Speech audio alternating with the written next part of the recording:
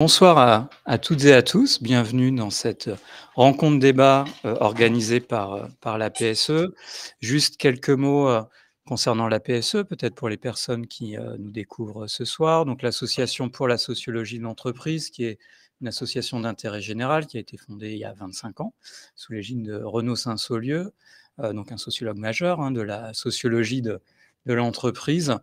Et l'association donc organise des activités euh, en ligne, des activités en présentiel, des activités en hybride, ce qui va être le cas ce soir euh, aussi, euh, autour voilà, de, différents sujets autour de la question de la sociologie de l'entreprise. On essaye de faire se croiser trois types de publics, le monde de la recherche, le monde des praticiennes et des praticiens de la sociologie de, de l'entreprise et de manière générale de l'usage des sciences sociales en entreprise, et les professionnels en entreprise qui souhaitent s'intéresser, bien entendu, à, l'ensemble de, ces sujets.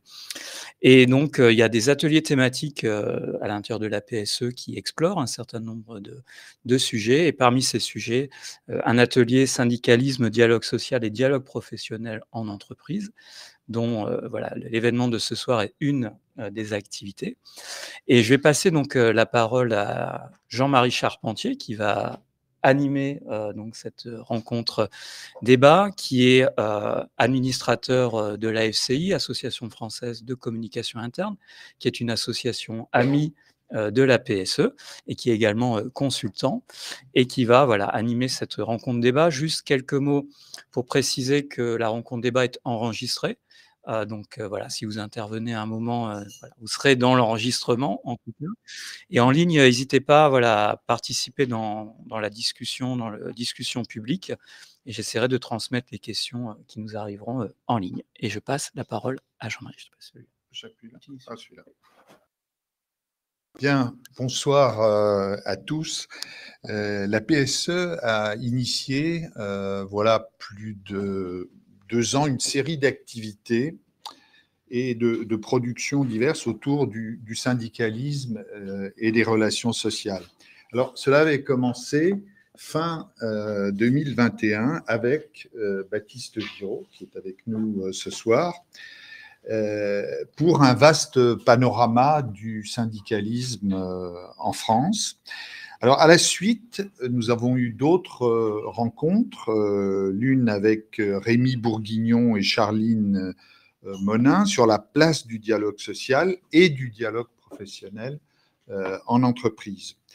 Une autre rencontre a eu lieu avec Arnaud Stimec et Jean-Noël Lhuillier à propos de la parution du livre L'analyse organisationnelle du dialogue social. C'était le point de vue euh, des sciences de gestion sur euh, euh, les relations sociales. Et puis, nous avons eu pendant cette période aussi un certain nombre d'entretiens, d'entretiens vidéo, alors avec le sociologue Michel Lallemand, sur l'histoire des recherches sur les relations professionnelles, à partir notamment de, du CNAM, qui a été une structure fondatrice pour euh, ces recherches.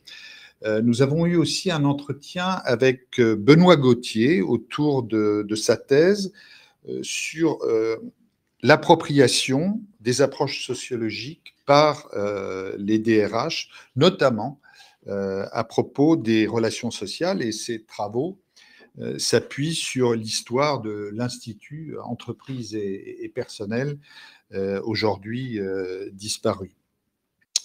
Nous avons eu également un, entretien avec Edwige Dutérage-Baudin, directrice des relations sociales d'IKEA, euh, à propos du dialogue social informel euh, en entreprise. Elle fait une thèse euh, actuellement avec Arnaud Mias sur, sur ce sujet. autre entretien avec Jacques Follereau, DRH de, de Groupama, Rhône-Alpes, sur les apports de la sociologie dans son métier euh, de DRH, notamment en charge euh, des euh, relations sociales. Alors, toutes ces rencontres, tous ces entretiens sont disponibles sur le site de, de, la PSE et convenons qu'il y a déjà une matière riche sur, sur le sujet qui s'appuie, et peut-être qu'on y reviendra, sur des apports interdisciplinaires de la sociologie, des sciences politiques, sciences de gestion, économie. On, reviendra peut-être plus tard sur cette dimension interdisciplinaire. Alors aujourd'hui, venons-en à notre actualité. Aujourd'hui, nous recevons euh, et nous poursuivons euh, notre exploration avec à nouveau euh, Baptiste Giraud, qui est, je le rappelle, chercheur en sciences politiques à Aix-Marseille et qui est rattaché au LEST, que nous connaissons bien, notamment grâce à, Blaise, qui est en ligne. Qui est en ligne voilà. Et nous recevons également euh, Camille euh, Signoretto, qui est, elle, économiste, économiste à l'université Paris-Cité, c'est ça, et rattachée au LADIS, euh, Laboratoire Dynamique Sociale et Recomposition des Espaces. Voilà, bon, c'est bien. Alors, nous les recevons à l'occasion de la parution d'un livre, d'un livre que je considère comme important, euh, qu'ils ont dirigé. Un compromis salarial en crise, que reste-t-il à négocier dans, euh, dans les entreprises? Euh, Alors, comme on avait pu le faire avec Baptiste, on avait pu faire un panorama du, syndicalisme, avec ce livre, on a un panorama de la négociation d'entreprise aujourd'hui. Euh, cette négociation euh, dans les différents secteurs euh, professionnels avec toutes les contraintes dans lesquelles cette négociation se déploie, avec une analyse fine sur l'état des, acteurs en présence et en particulier la situation du, syndicalisme. Alors, je vous propose qu'on échange de façon assez directe sur le contenu de vos recherches euh, qui porte euh, donc euh, sur le, dialogue social en entreprise, les relations sociales en entreprise. Alors, première question, peut-être, le titre du livre fait référence à un compromis salarial. un compromis salarial qui est, selon vous, en crise. Alors, dans le passé, on a pu évoquer le compromis fordiste euh, notamment dans la période de l'après-guerre, compromis fordiste qui a établi une sorte de, deal, de grand deal euh, entre l'économique et le social, deal qui n'excluait pas euh, du, conflit, mais qui était en toile de fond des relations sociales et qui permettait une dynamique de, progrès. Alors d'une certaine manière, à l'époque, l'économique tirait le social et le social euh, tirait l'économique. Nous sommes dans un tout autre contexte. La négociation d'entreprise, alors les chiffres des accords signés en attestent, est devenue la matrice de ce qu'on appelle le, dialogue social, beaucoup plus qu'hier la négociation de branche ou la négociation interprofessionnelle. Et tout ça dans un contexte aujourd'hui beaucoup plus contraint. Alors, Première question pour euh, Baptiste. Euh, de quoi, au fond, est fait le compromis salarial aujourd'hui et pourquoi est-il, euh, selon vous, en crise? Eh bien, il faut que j'appuie Non, c'est bon. madame, merci. Merci pour, pour, pour, l'invitation et pour l'occasion qui nous est donnée de présenter cet ouvrage. Donc, je le, je rappelle, un ouvrage collectif. Hein. on est six ou sept contributeurs juillet, donc venant de la science politique, de l'économie, de la sociologie et des sciences de gestion, et qui est tiré aussi, juste pour préciser en, préambule, euh, de l'exploitation de l'enquête euh, réponse, qui est une enquête euh, statistique qui est organisée par le ministère du Travail tous les cinq ans, qui est une enquête très riche, qui porte à la fois sur modalité d'organisation du travail, de gestion du personnel et donc sur les relations sociales. Et puis, donc, la la, DARES fait appel à nous à la fois pour exploiter les données statistiques et puis pour les compléter par des enquêtes en entreprise. on retourne dans les mêmes entreprises en fait qui ont été, enfin, dans une partie d'entre elles, qui ont été enquêtées par voie de questionnaire pour prolonger par, par, des, par des enquêtes par entretien. Et donc, c'est la, combinaison de ces deux approches qu'on propose dans l'ouvrage. Alors, pourquoi compromis salarial en crise? Parce que l'objet de l'ouvrage, en fait, je dirais le fil directeur, la problématique qu'on essaie de, de tirer tout au long de l'ouvrage, c'est le paradoxe apparent entre le fait que sans doute, effectivement, on n'a jamais autant dialogué en entreprise entre direction et représentants euh, du personnel, euh, qu'ils soient syndiqués ou non syndiqués. On accorde une place assez importante dans, le livre aussi aux représentants du personnel syndiqués qui, sont, qui représentent quand même 40% des élus du personnel dans, dans, les entreprises. Donc d'un côté, on, dialogue de plus en plus, il y a de plus en plus d'injonctions, d'obligations à négocier, à consulter les représentants du personnel. Et de l'autre, on a le sentiment que pour autant, représentants du personnel et j'ai envie de dire et direction n'ont jamais été aussi contraints dans le type de compromis qui peuvent euh, concrètement dégager, euh, négocier euh, dans, dans, les entreprises. Et que donc l'idée qu'on essaie de, de, de démontrer au, fil de l'ouvrage, c'est que le développement de la négociation d'entreprise, bon, d'abord, reste très inégal. Tu as raison de rappeler qu'il y a en gros 80 000 accords qui sont conclus chaque année en France, mais ce n'est que 80 000 accords par rapport au nombre global d'entreprises. Ça veut dire que dans 85% sans doute même plus, dans plus de 80% des entreprises, il n'y a pas d'accord. Donc, donc la norme dans les entreprises euh, françaises, c'est l'absence d'accord, l'absence de négociation euh, tout court. Et là où il y a négociation, elle est très contrainte. Euh, elle est très contrainte parce qu'elle s'inscrit dans un contexte pour aller très très vite, triplement contraint, contexte économique et politique triplement contraint, contraint par les transformations du capitalisme. Euh, avec la financiarisation du capitalisme, contraint par le développement de la filialisation des politiques d'externalisation et donc toutes les, entreprises sous-traitantes qui travaillent directement euh, sous la direction d'une entreprise de noces d'ordre. Et donc, euh, les directions des entreprises sous-traitantes sont très peu, ont des marges de manœuvre très, très, très limitées, pour pas dire pas du tout de marge de manœuvre, comme on le montre dans, dans certaines de nos monographies. Et puis, troisième élément important, ce qu'on appelle le capitalisme d'État, pour aller très vite, mais toutes les entreprises qui vivent ou des organisations euh, de l'économie sociale et solidaire en particulier, qui vivent beaucoup des subventions de l'État dans un contexte, tout le monde le sait, de rationalisation, pour pas dire de réduction des, défenses publiques, et donc qui impose des contraintes budgétaires colossales euh, dans, dans, ces directions d'entreprise.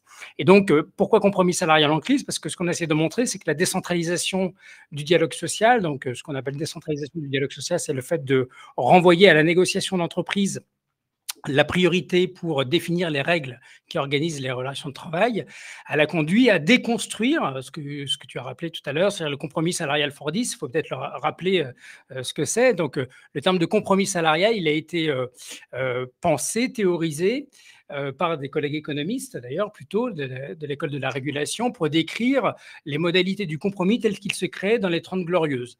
Euh, quelles étaient les deux grandes caractéristiques, trois grandes caractéristiques, on va dire? C'est que ça reposait sur des négociations très centralisées, au niveau des branches, au niveau euh, interprofessionnel. Ça reposait euh, sur un syndicalisme relativement bien implanté, je dis relativement, mais on était quand même dans 25-30% de, salariés français qui étaient, euh, qui étaient syndiqués, puis avec des syndicats qui avaient des capacités de mobilisation, notamment dans l'industrie, qui était le poumon économique de la France ou dans les services publics, qui étaient beaucoup plus importantes qu'il ne l'est aujourd'hui. Et puis, troisième élément important, un capitalisme qu'on va qualifier de type familial, dirigé par bah, ceux qui étaient propriétaires de l'entreprise, donc ancrés durablement, c'est ça la donnée importante, ancrés durablement dans leur territoire et dans, dans la gestion, euh, on va dire, de, long terme de, de l'entreprise. Bon, il y a un triple changement qui s'opère, la financiarisation euh, et donc euh, aussi l'internationalisation de l'économie, donc l'intensification des de des effets de la concurrence économique. premier changement important. Deuxième changement important, désindustrialisation, affaiblissement du syndicalisme. Je vais évidemment très vite, mais enfin, réduction par deux, si ce n'est par trois, des effectifs euh, syndiqués, donc affaiblissement du, rapport de force, apparition du chômage de masse, de la précarité euh, d'une partie euh, des salariés. Puis, troisième changement important, changement des règles de la négociation collective. Alors, ça se fait évidemment par étapes, c'est des processus longs, complexes, parfois un petit peu contradictoires d'ailleurs, mais quand même, la tendance longue, c'est l'apparition de la négociation d'entreprise avec les lois au alors voilà, bah, donc à l'époque, l'idée c'était plutôt d'en faire un moteur du progrès social. Concrètement, si je vais vraiment très vite, il n'y a d'accord que si euh, ça crée des règles qui sont à l'avantage des salariés par rapport à ce qui est prévu dans la convention collective de branche. ceci étant, dès les lois au roux, il y a déjà de premières possibilités de déroger aux accords de branche, donc notamment sur l'organisation du temps de travail, c'est-à-dire de prévoir des organisations du travail qui permettent d'accroître la flexibilité plus que ne l'autorisent les conventions collectives. Mais il est clair qu'à l'époque, c'est plutôt l'exception avec l'objectif de l'Euroroue, c'est très soutenu par la CFDT en particulier, c'est de développer la citoyenneté en entreprise. Et puis là, je fais un saut de 20 ans, mais à partir des lois Fillon 2003-2004, euh, et puis ça s'est accéléré, et les ordonnances Macron sont le parachèvement de ce processus, il y a eu la loi, la, loi El Khomri auparavant. Bon, l'idée, c'est un renversement complet, priorité est donnée aux accords d'entreprise, euh, et surtout avec des accords d'entreprise qui peuvent prévoir des règles plus défavorables pour les salariés que ne le prévoient les conventions collectives de branche pour donner un accord très simple sur la rémunération des heures supplémentaires qui a été beaucoup contestée, euh, notamment par l'ensemble des syndicats au moment de la, mise en application des ordonnances Macron. Le taux de majoration peut être abaissé euh, par accord par rapport à ce que prévoit la convention collective euh, de branche, ou bien on peut flexibiliser davantage euh, les horaires de travail. Bon, la logique, elle est très simple, c'est de mettre la négociation non plus simplement, et je dirais même non plus prioritairement, au service du progrès social de la citoyenneté d'entreprise, mais clairement d'en faire un outil d'ajustement des règles du travail à, aux objectifs de compétitivité de l'entreprise. Oui, c'est donc d'ailleurs Guy Grou a parlé de dialogue social euh, euh, euh, managérial, et donc on est passé en gros d'une négociation d'entreprise qui était pensée comme un droit pour les salariés et leurs représentants un outil du progrès social, à une négociation d'entreprise qui est d'abord plébiscitée maintenant d'ailleurs par le MEDEF, beaucoup plus euh, presque par les syndicats euh, de salariés, euh, parce qu'on y voit l'opportunité de flexibiliser, d'ajuster les rémunérations, l'organisation du temps de travail pour répondre aux objectifs de compétitivité des actionnaires ou bien aux contraintes de coûts qu'impose l'État qui, qui finance. Et donc tout l'objet du livre, c'est de montrer en même temps donc, comment ça se reconfigure et de montrer aussi que, alors il y a cette tendance lourde, qu'on retrouve dans toutes les entreprises, celle que je viens de décrire, mais en même temps, évidemment, qui se décline voilà, selon des modalités différentes. Donc, il ne s'agit pas non plus de dresser un portrait trop monolithique ou trop, euh, j'allais dire, pessimiste, mais de montrer justement euh, comment ça se décline euh, en fonction des, des des entreprises. Alors, justement, c'est peut-être le, moment mmh. d'aborder un des points forts, vraiment très forts de, de votre travail, à savoir la, la situation de cette euh, négociation d'entreprise et plus largement euh, des relations sociales dans des univers socio-productifs, hein, je reprends vos termes, très, très différents. Vous distinguez par exemple, euh, et vous nous direz pourquoi et comment, les PME paternalistes, les PME innovantes et dynamiques, les organisations néo-tayloriennes de services et enfin les entreprises néo-fordistes euh, en tension. Quatre euh, modèles socioproductifs en quelque sorte. Dites-nous comment vous avez travaillé à partir de, ces modèles. Oui, alors notre point de départ, c'était, comme l'a dit un petit peu Baptiste, c'était d'aller au-delà des, recherches qui ont, déjà pu être menées auparavant et qui ont montré que des, variables clés qui, euh, qui euh, justement euh, jouaient sur déjà les pratiques de représentation du personnel et la syndicalisation dans les entreprises, c'était la taille et le secteur. comme l'a dit Baptiste, voilà, les grandes entreprises industrielles, on sait que de toute façon, ça négocie, il y a des syndicats, c'était les bastions du syndicalisme. Donc on, on, a voulu aller quand même au-delà de ces deux variables, on va dire, de ces deux caractéristiques d'entreprise, pour essayer de faire une typologie en fait de, d'organisations, d'entreprises qui dépendent de euh, quatre, grandes dimensions. Euh, donc à la fois de l'économique, donc le contexte économique, donc euh, Baptiste en a déjà parlé, voilà, c'est par exemple, bah, est-ce que les organisations sont prises dans des relations de sous-traitance Est-ce qu'elles sont dépendantes d'un groupe ou au contraire indépendantes Elles sont sur un petit marché local ou sur un grand marché international concurrentiel Donc il y avait ce contexte économique à prendre en compte. Ensuite, on est allé voir, euh, on voulait aussi prendre en compte euh, dans, les, euh, dans les entreprises comment se déroulaient les politiques de management, de gestion, donc de gestion de la main-d'œuvre, donc à la fois dans l'organisation du travail, est-ce qu'on avait des, organisations du travail plutôt rigides, les, salariés ont l'autonomie ou pas, donc permettant de montrer aussi que le salariat est différent hein, selon aussi leur position socio-professionnelle. Euh, de gestion de l'emploi, euh, au, avec au niveau de la rémunération, est-ce que c'est des pratiques individualistes euh, de l'emploi, est-ce que c'est des politiques flexibles hein, les, Toutes les entreprises n'ont pas des politiques d'emploi flexibles, par exemple. Donc voilà, l'aspect organisation du travail, mode de management, gestion de l'emploi, et puis bien évidemment, du coup, pour prendre en compte ce qui nous intéressait particulièrement, est-ce que dans les entreprises, il y avait des syndicats, des représentants du personnel, de la négociation, des conflits, etc. Donc ça, c'est quatre dimensions hein, que nous permettait euh, l'enquête réponse. Du coup, euh, il y a un riche questionnaire, donc nous permettait de prendre différentes variables euh, captant ces dimensions. avec une analyse statistique, du coup, on a, a établi en gros une typologie d'entreprise, de contexte, qu'on a appelé effectivement de contexte, de modèle socioproductif, où du coup, il y a une articulation différente de ces quatre dimensions. Donc, euh, pour les présenter un petit peu plus en détail, même si on, a déjà un petit peu parlé en fait euh, là avec la première question. Donc, euh, les PME paternalistes. Voilà, donc on les a appelés voilà, PME, petites entreprises paternalistes, parce qu'effectivement, c'est vraiment plutôt des petites entreprises de moins de 50 salariés. donc là, on, est sur des, entreprises où il y, a peu de hiérarchie. Hein. Il y a le patron et il y a les salariés. On n'a pas de management intermédiaire. Donc du coup, le patron l'employeur euh, euh, dirige, euh, contrôle le travail, on va dire, dirige les salariés de manière assez directe. et ce, mode direct, on le retrouve aussi finalement dans les relations sociales, la relation de travail, puisqu'il y a très, très peu de représentants du personnel. On ne parle même pas de syndicats, hein, on parle juste de représentants du personnel. Et tout se fait voilà, de manière assez informelle euh, de manière euh, personnelle, euh, directe avec le patron. C'est quelque chose qui, revendique. Et du coup, comment, pour revenir sur le, terme de compromis, qu'est-ce que les salariés dans ces entreprises peuvent essayer d'obtenir comme, compromis, comme avantage? Bah, pas, pas grand-chose quand même, il faut bien le dire. Donc, pas par la négociation collective, puisqu'il y en a très peu de toute façon, donc ça passe par des choses informelles. Vous avez parlé d'ailleurs de dialogue social informel tout à l'heure. Bah, ces petites entreprises, on y est vraiment. Euh, et euh, c'est ce qu'on a appelé plutôt des arrangements, en fait. Des arrangements du patron aux salariés. Mais alors, du coup, pas forcément n'importe quel salarié, ça va plutôt être des arrangements pour le salarié qui est loyal, fidèle, qui, euh, répond bien au projet du patron, au projet de l'entreprise. Et donc, après, effectivement, il y a quand même des, arrangements. Hein. On peut obtenir euh, des choses sur la gestion du temps de travail, euh, des mobilités, y compris euh, voilà, verticales. mais ça reste de l'individuel dans la relation très personnalisée. Et donc, du coup, même si je sais que Baptiste reviendra probablement après, pourquoi on l'a appelé PME paternaliste?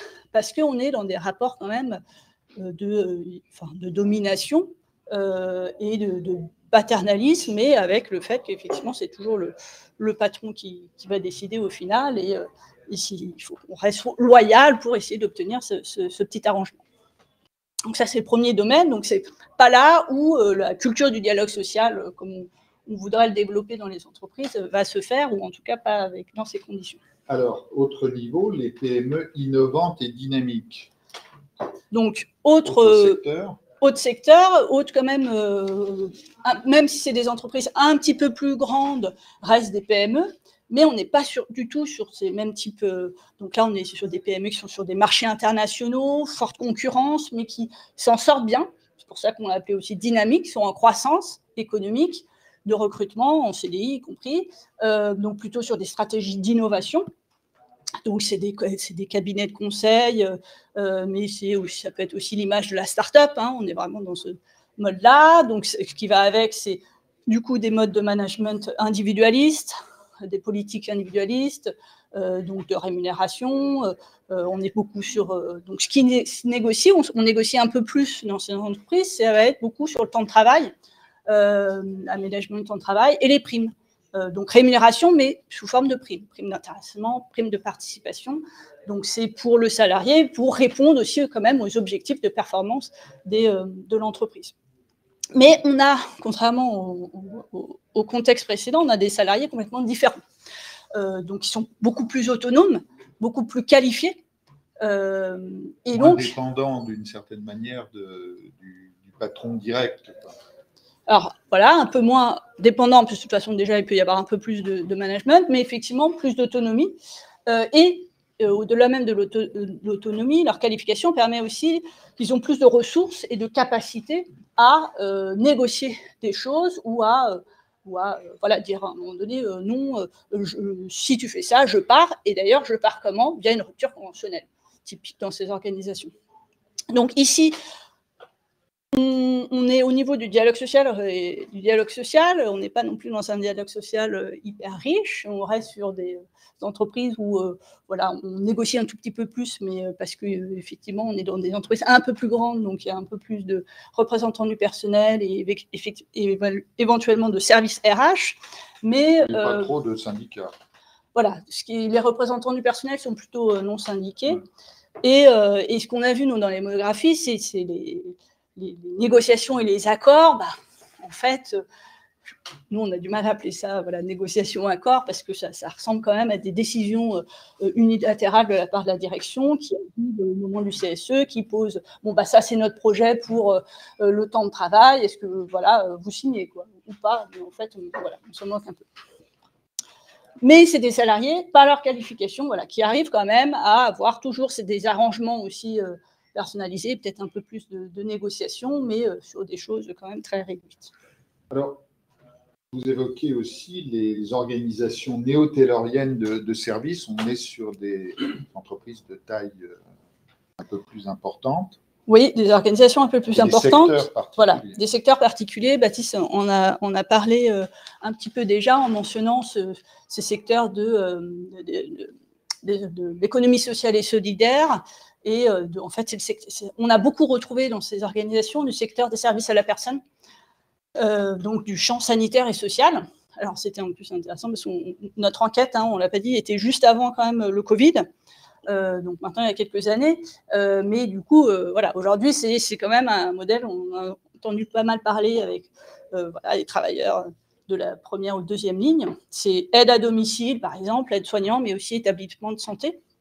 Ces organisations sont très, très, très contraintes par, donc, par des réglementations publiques, en fait, qui viennent de l'État, euh, qui, euh, voilà, hein, qui, qui jouent aussi sur, sur l'organisation du travail euh, des salariés, salariés qui sont plutôt féminins, hein, employés féminins, et, et, contraints dans le budget.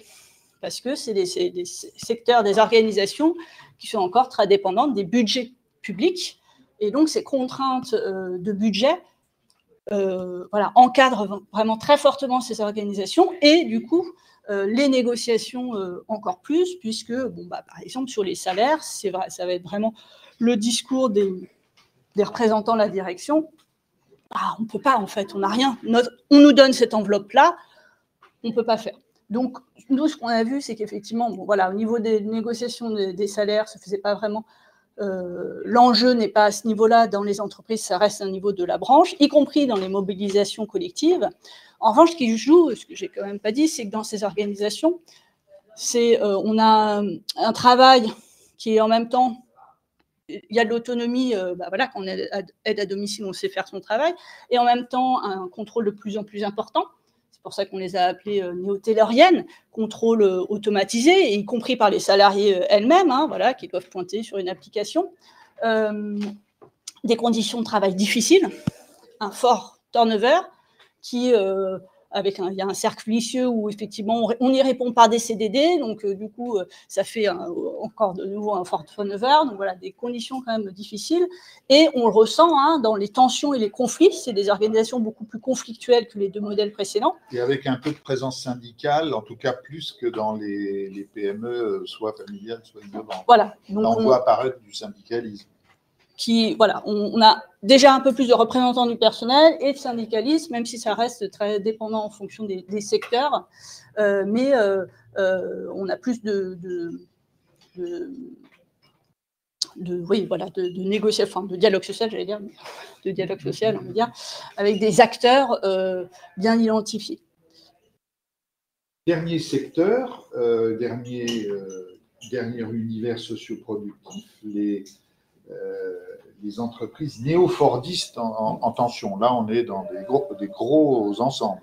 Voilà, donc ça, c'est l'image. Bah, c'est l'image, d'ailleurs, on a parlé tout à l'heure de compromis fordiste de la grande entreprise industrielle où on avait beaucoup ce compromis Fordiste, où ça marchait plutôt bien.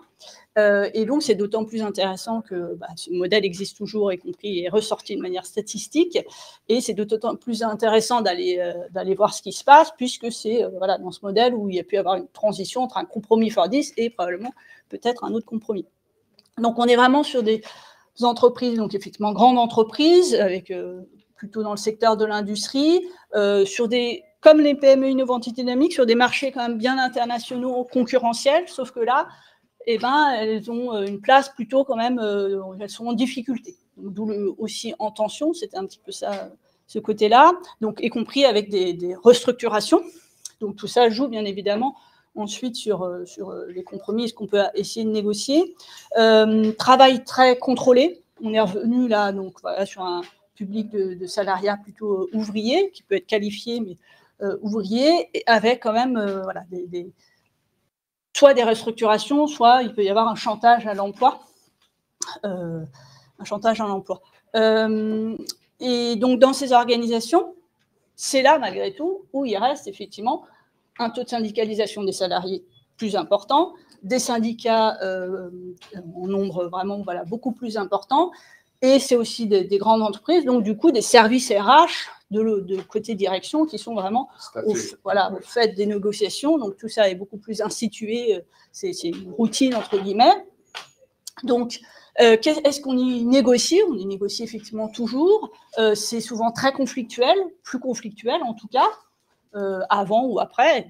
Des mobilisations qui peuvent amener et qui peuvent justement aboutir quand même à, un compromis qui soit un minimum favorable aux, entreprises, mais qui reste très contraint par euh, cette financiarisation, cette néolibéralisation de l'économie qui se ressent beaucoup dans ces entreprises, où là aussi, mais dans un autre contexte que les organisations néo-tayloriennes, les négociations euh, peuvent être, euh, donc ça c'est Baptiste entre autres et un autre collègue qui disait qu'ils sont vidés de leur substance parce que dans, un même, dans un autre registre, bah, les négociations au niveau de l'établissement, tout en bas, bah, les choses se, se, se décident pas ici, c'est la tête d'entreprise ou le groupe qui va dire, bon, bah, de toute façon, euh, euh, moi, il y a l'enveloppe salariale, c'est ça, point barre, ou euh, s'il y a restructuration, bon, bah, il faut de toute façon, sur ce site, vous supprimiez 500 emplois. Donc, des négociations, mais qui restent effectivement très difficiles, très contraintes, et avec quand même des difficultés à, mobiliser aussi des salariés qui sont dans un contexte voilà, où, ils peuvent perdre leur emploi et avoir du mal à, à retrouver un emploi derrière. Donc, euh, à, vous entendre, on voit bien qu'il est difficile d'avoir une vue euh, globale et surplombante des, relations sociales et, de la négociation euh, d'entreprise. On a affaire, je vais prendre un mot de, Renaud Saint-Soulieu, à des mondes sociaux très différents. Donnez-nous peut-être des, des, exemples. Là, on a les, on a les modèles socioproductifs. J'aimerais bien qu'on rentre dans un ou deux exemples, alors peut-être d'une PME familiale et euh, d'une euh, entreprise néo-fordiste en tension, qu'on voit un peu ce qui se passe et que ça s'incarne. Ah euh, alors effectivement, euh, je, c'est pas le terme nous qu'on emploie, mais monde sociaux, ça correspond très bien à ce qu'on a voulu euh, décrire, et c'est évidemment tout l'intérêt pour nous d'avoir des monographies couplées aux stats, c'est que ça, aux statistiques, pardon, c'est que ça permet d'incarner un peu, de, donner un peu de chair. Bon, je vais y venir. Puis un deuxième point aussi évidemment important, c'est que notre propos n'est pas du tout de dire que les contextes organisationnels et économiques déterminent de manière homogène euh, les, relations de travail et la manière dont ils se négocient. Et justement, c'est la richesse aussi des, monographies de voir que dans, euh, à la fois, ça aide à repérer des contraintes communes et qui produisent des effets sur le type de représentant du personnel qui existe, sur ce qui fait conflit dans un, dans certain type d'organisation et pas dans d'autres. Bon, par exemple, la question salariale, elle ne se pose pas dans les PME dynamiques et innovantes parce que les salaires sont très élevés, que les salariés peuvent négocier eux-mêmes leurs salaires, alors que dans la première configuration, c'est un objet de tension majeure parce que les salaires sont très faibles, très réduits et très contraints pour, euh, pour euh, les salariés. Donc voilà. Bon, et en même temps, dans l'ouvrage, dans qui construit chapitre par chapitre, modèle par modèle, on montre les, les, les, les variables qu'on peut observer à l'intérieur de chacun de ces modèles. Donc, de manière très concrète, le monde, quand on dit monde sociaux, c'est effectivement que euh, derrière, j'ai envie de dire, ces, euh, ces, contraintes communes, organisationnelles, économiques que l'enquête statistique euh, permet de, repérer, ce que montrent les enquêtes par entretien, les enquêtes par ce qu'on appelle nous par, par monographie, c'est qu'en fait, les, pratiques de dialogue social, elles varient en fonction de rapports sociaux, on pourrait même presque dire de rapports sociaux de classe euh, qui sont euh, très différents euh, entre ces différents univers et que ça impacte à la fois le, style de management et la nature des relations qu'il y a entre salariés et entre salariés et représentants du personnel. Et donc effectivement, si je reprends juste les deux premières configurations, nous on a construit l'ouvrage pour dire il faut vraiment aller au-delà de la différence entre petites et grandes entreprises. Bien sûr, c'est très clivant voilà, en gros, pour ceux qui seraient les plus béotiens dans les petites entreprises, vous l'avez compris, il n'y a pas de négociation collective. Dans les grandes, il y en a beaucoup plus. Mais une fois qu'on a dit ça, on n'a pas tout dit. dans, les petites, si on revient sur la première configuration, ce que l'on montre à travers nos monographies, c'est qu'on a des salariés et surtout des représentants du personnel qui sont vraiment pris dans des rapports de dépendance personnel avec leur employeur qui euh, réduit à néant toute possibilité de dialogue euh, social euh, collectif, très peu de négociations. Et je rajouterais par rapport à ce qu'a dit Camille que ce qu'on montre, c'est que lorsqu'il y a négociation, alors là, c'est même pas de la négociation, c'est effectivement juste une ratification d'une décision unilatérale d'un employeur qui se fait en défaveur des salariés. Très concrètement, le premier accord qui est négocié dans l'une de nos deux entreprises, c'est on baisse le taux, de majoration des heures supplémentaires dans une entreprise d'aide à domicile où les salaires sont déjà très très faibles. Et donc, ça s'inscrit, ça devient un outil de coercition supplémentaire dans un contexte managérial véritablement où euh, ce qu'on voit, euh, il y a quand même énormément de tensions. Alors c'est un point aussi important que fait ressortir euh, les enquêtes monographiques, c'est que ce mode de, management très coercitif, j'insiste vraiment dans ces deux, dans ces deux entreprises, bah, empêche le dialogue social, mais crée beaucoup de conflictualité. Alors, ce qu'on pourrait appeler une conflictualité souterraine, il n'y a pas de grève, hein, il n'y a pas d'organisation syndicale, il n'y a pas de mobilisation euh, collective, mais c'est des tensions permanentes, c'est du turnover euh, dans l'entreprise d'aide à domicile, c'est le salarié, euh, en moyenne, les salariés, c'est deux ans dans l'entreprise, pas plus, ça rentre, ça sort en permanence, et du coup, en fait, une main-d'œuvre qui est très difficile à contrôler. Euh, par, euh, par l'employeur, parce qu'en même temps, il s'appuie sur une représentante du personnel qui est complètement délégitimée par rapport à ses, euh, à ses collègues qui ne s'en remettent pas du tout à elle. Donc, elle ne peut même pas servir de relais comme le voudrait l'employeur. Elle ne peut pas du tout servir de relais auprès de ses salariés parce que ses collègues n'écoutent pas. En plus, elle ne les connaît même pas. Hein. Donc, voilà. Donc, donc elle, a servi, enfin, je ne vais pas trop euh, euh, brutal non plus, mais elle a servi uniquement à signer un accord qui est totalement défavorable euh, aux salariés. si je prends par contre PME dynamique et innovante, alors comme l'a dit Camille, là on est sur un, univers de salariés très qualifiés. Alors ça inclut aussi dans notre ouvrage, c'est pas que des cadres, ça peut être, ça rentre, ça correspond aussi par exemple à des, à des ouvriers très qualifiés d'une fonderie donc, ils sont détenteurs d'un savoir-faire professionnel très rare, d'autant plus rare que l'entreprise est située dans un territoire rural. Donc, j'ai envie de dire, l'employeur, là, il ne peut pas faire comme dans la précédente configuration, bah, euh, elles partent, j'en reprends une autre. Là, il faut quand même que je fidélise un petit peu mon, mon, ouvrier. Bon.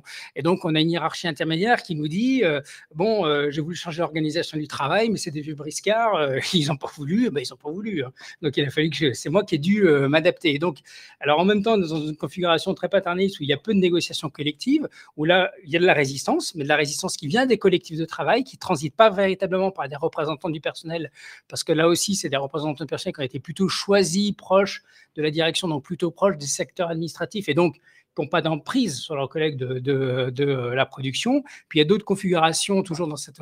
Là, je pense à une entreprise de, VRP en particulier. Donc là, c'est des salariés aussi très, très, très, très qualifiés, et puis qui vont réussir, là, qui sont plutôt de droite, hein, enfin même complètement de droite, il l'assume euh, comme ça, mais donc il, s'engage comme représentant euh, du personnel, mais malgré tout, euh, bah, il y en a qui ont fait des études de droit, un autre qui est dans l'épouse et est avocate, etc. Et donc c'est eux qui vont mettre en place le CSE parce qu'ils ont des ressources ils ont des ressources personnelles et ils vont contraindre bon an mal an l'employeur ben alors à des formes de négociation un petit peu informelles bah, parce que l'employeur il a quand même besoin quand même aussi de ses salariés alors en même temps le jour où l'activité périclite, parce que bon, c'est aussi l'intérêt de, montrer que même dans ces PME dynamiques et innovantes, il peut y avoir des retournements de conjoncture. Donc là, le marché s'effondre, en tout cas, l'entreprise perd beaucoup de, de, de, parts de marché. Donc, on arrive à un moment où tout le monde s'en va.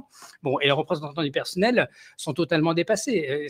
Alors, ils sont dépassés pour, pour deux choses importantes, et ça renvoie à ce que tu disais sur le monde social. Bah, D'une part, parce que face à une, entreprise qui va mal, bah, ces salariés ont des ressources pour aller se vendre, entre guillemets, euh, ailleurs. Et puis, ce que j'ai trouvé particulièrement intéressant, c'est que le dernier représentant du personnel qui reste, il est passé auparavant, il a été à la CFE CGC dans une étape dans, un moment préalable de sa carrière professionnelle. Puis il me dit, bon, bah, moi, le conflit, c'est pas pour moi. En fait, j'ai pas du tout envie de rentrer en conflit.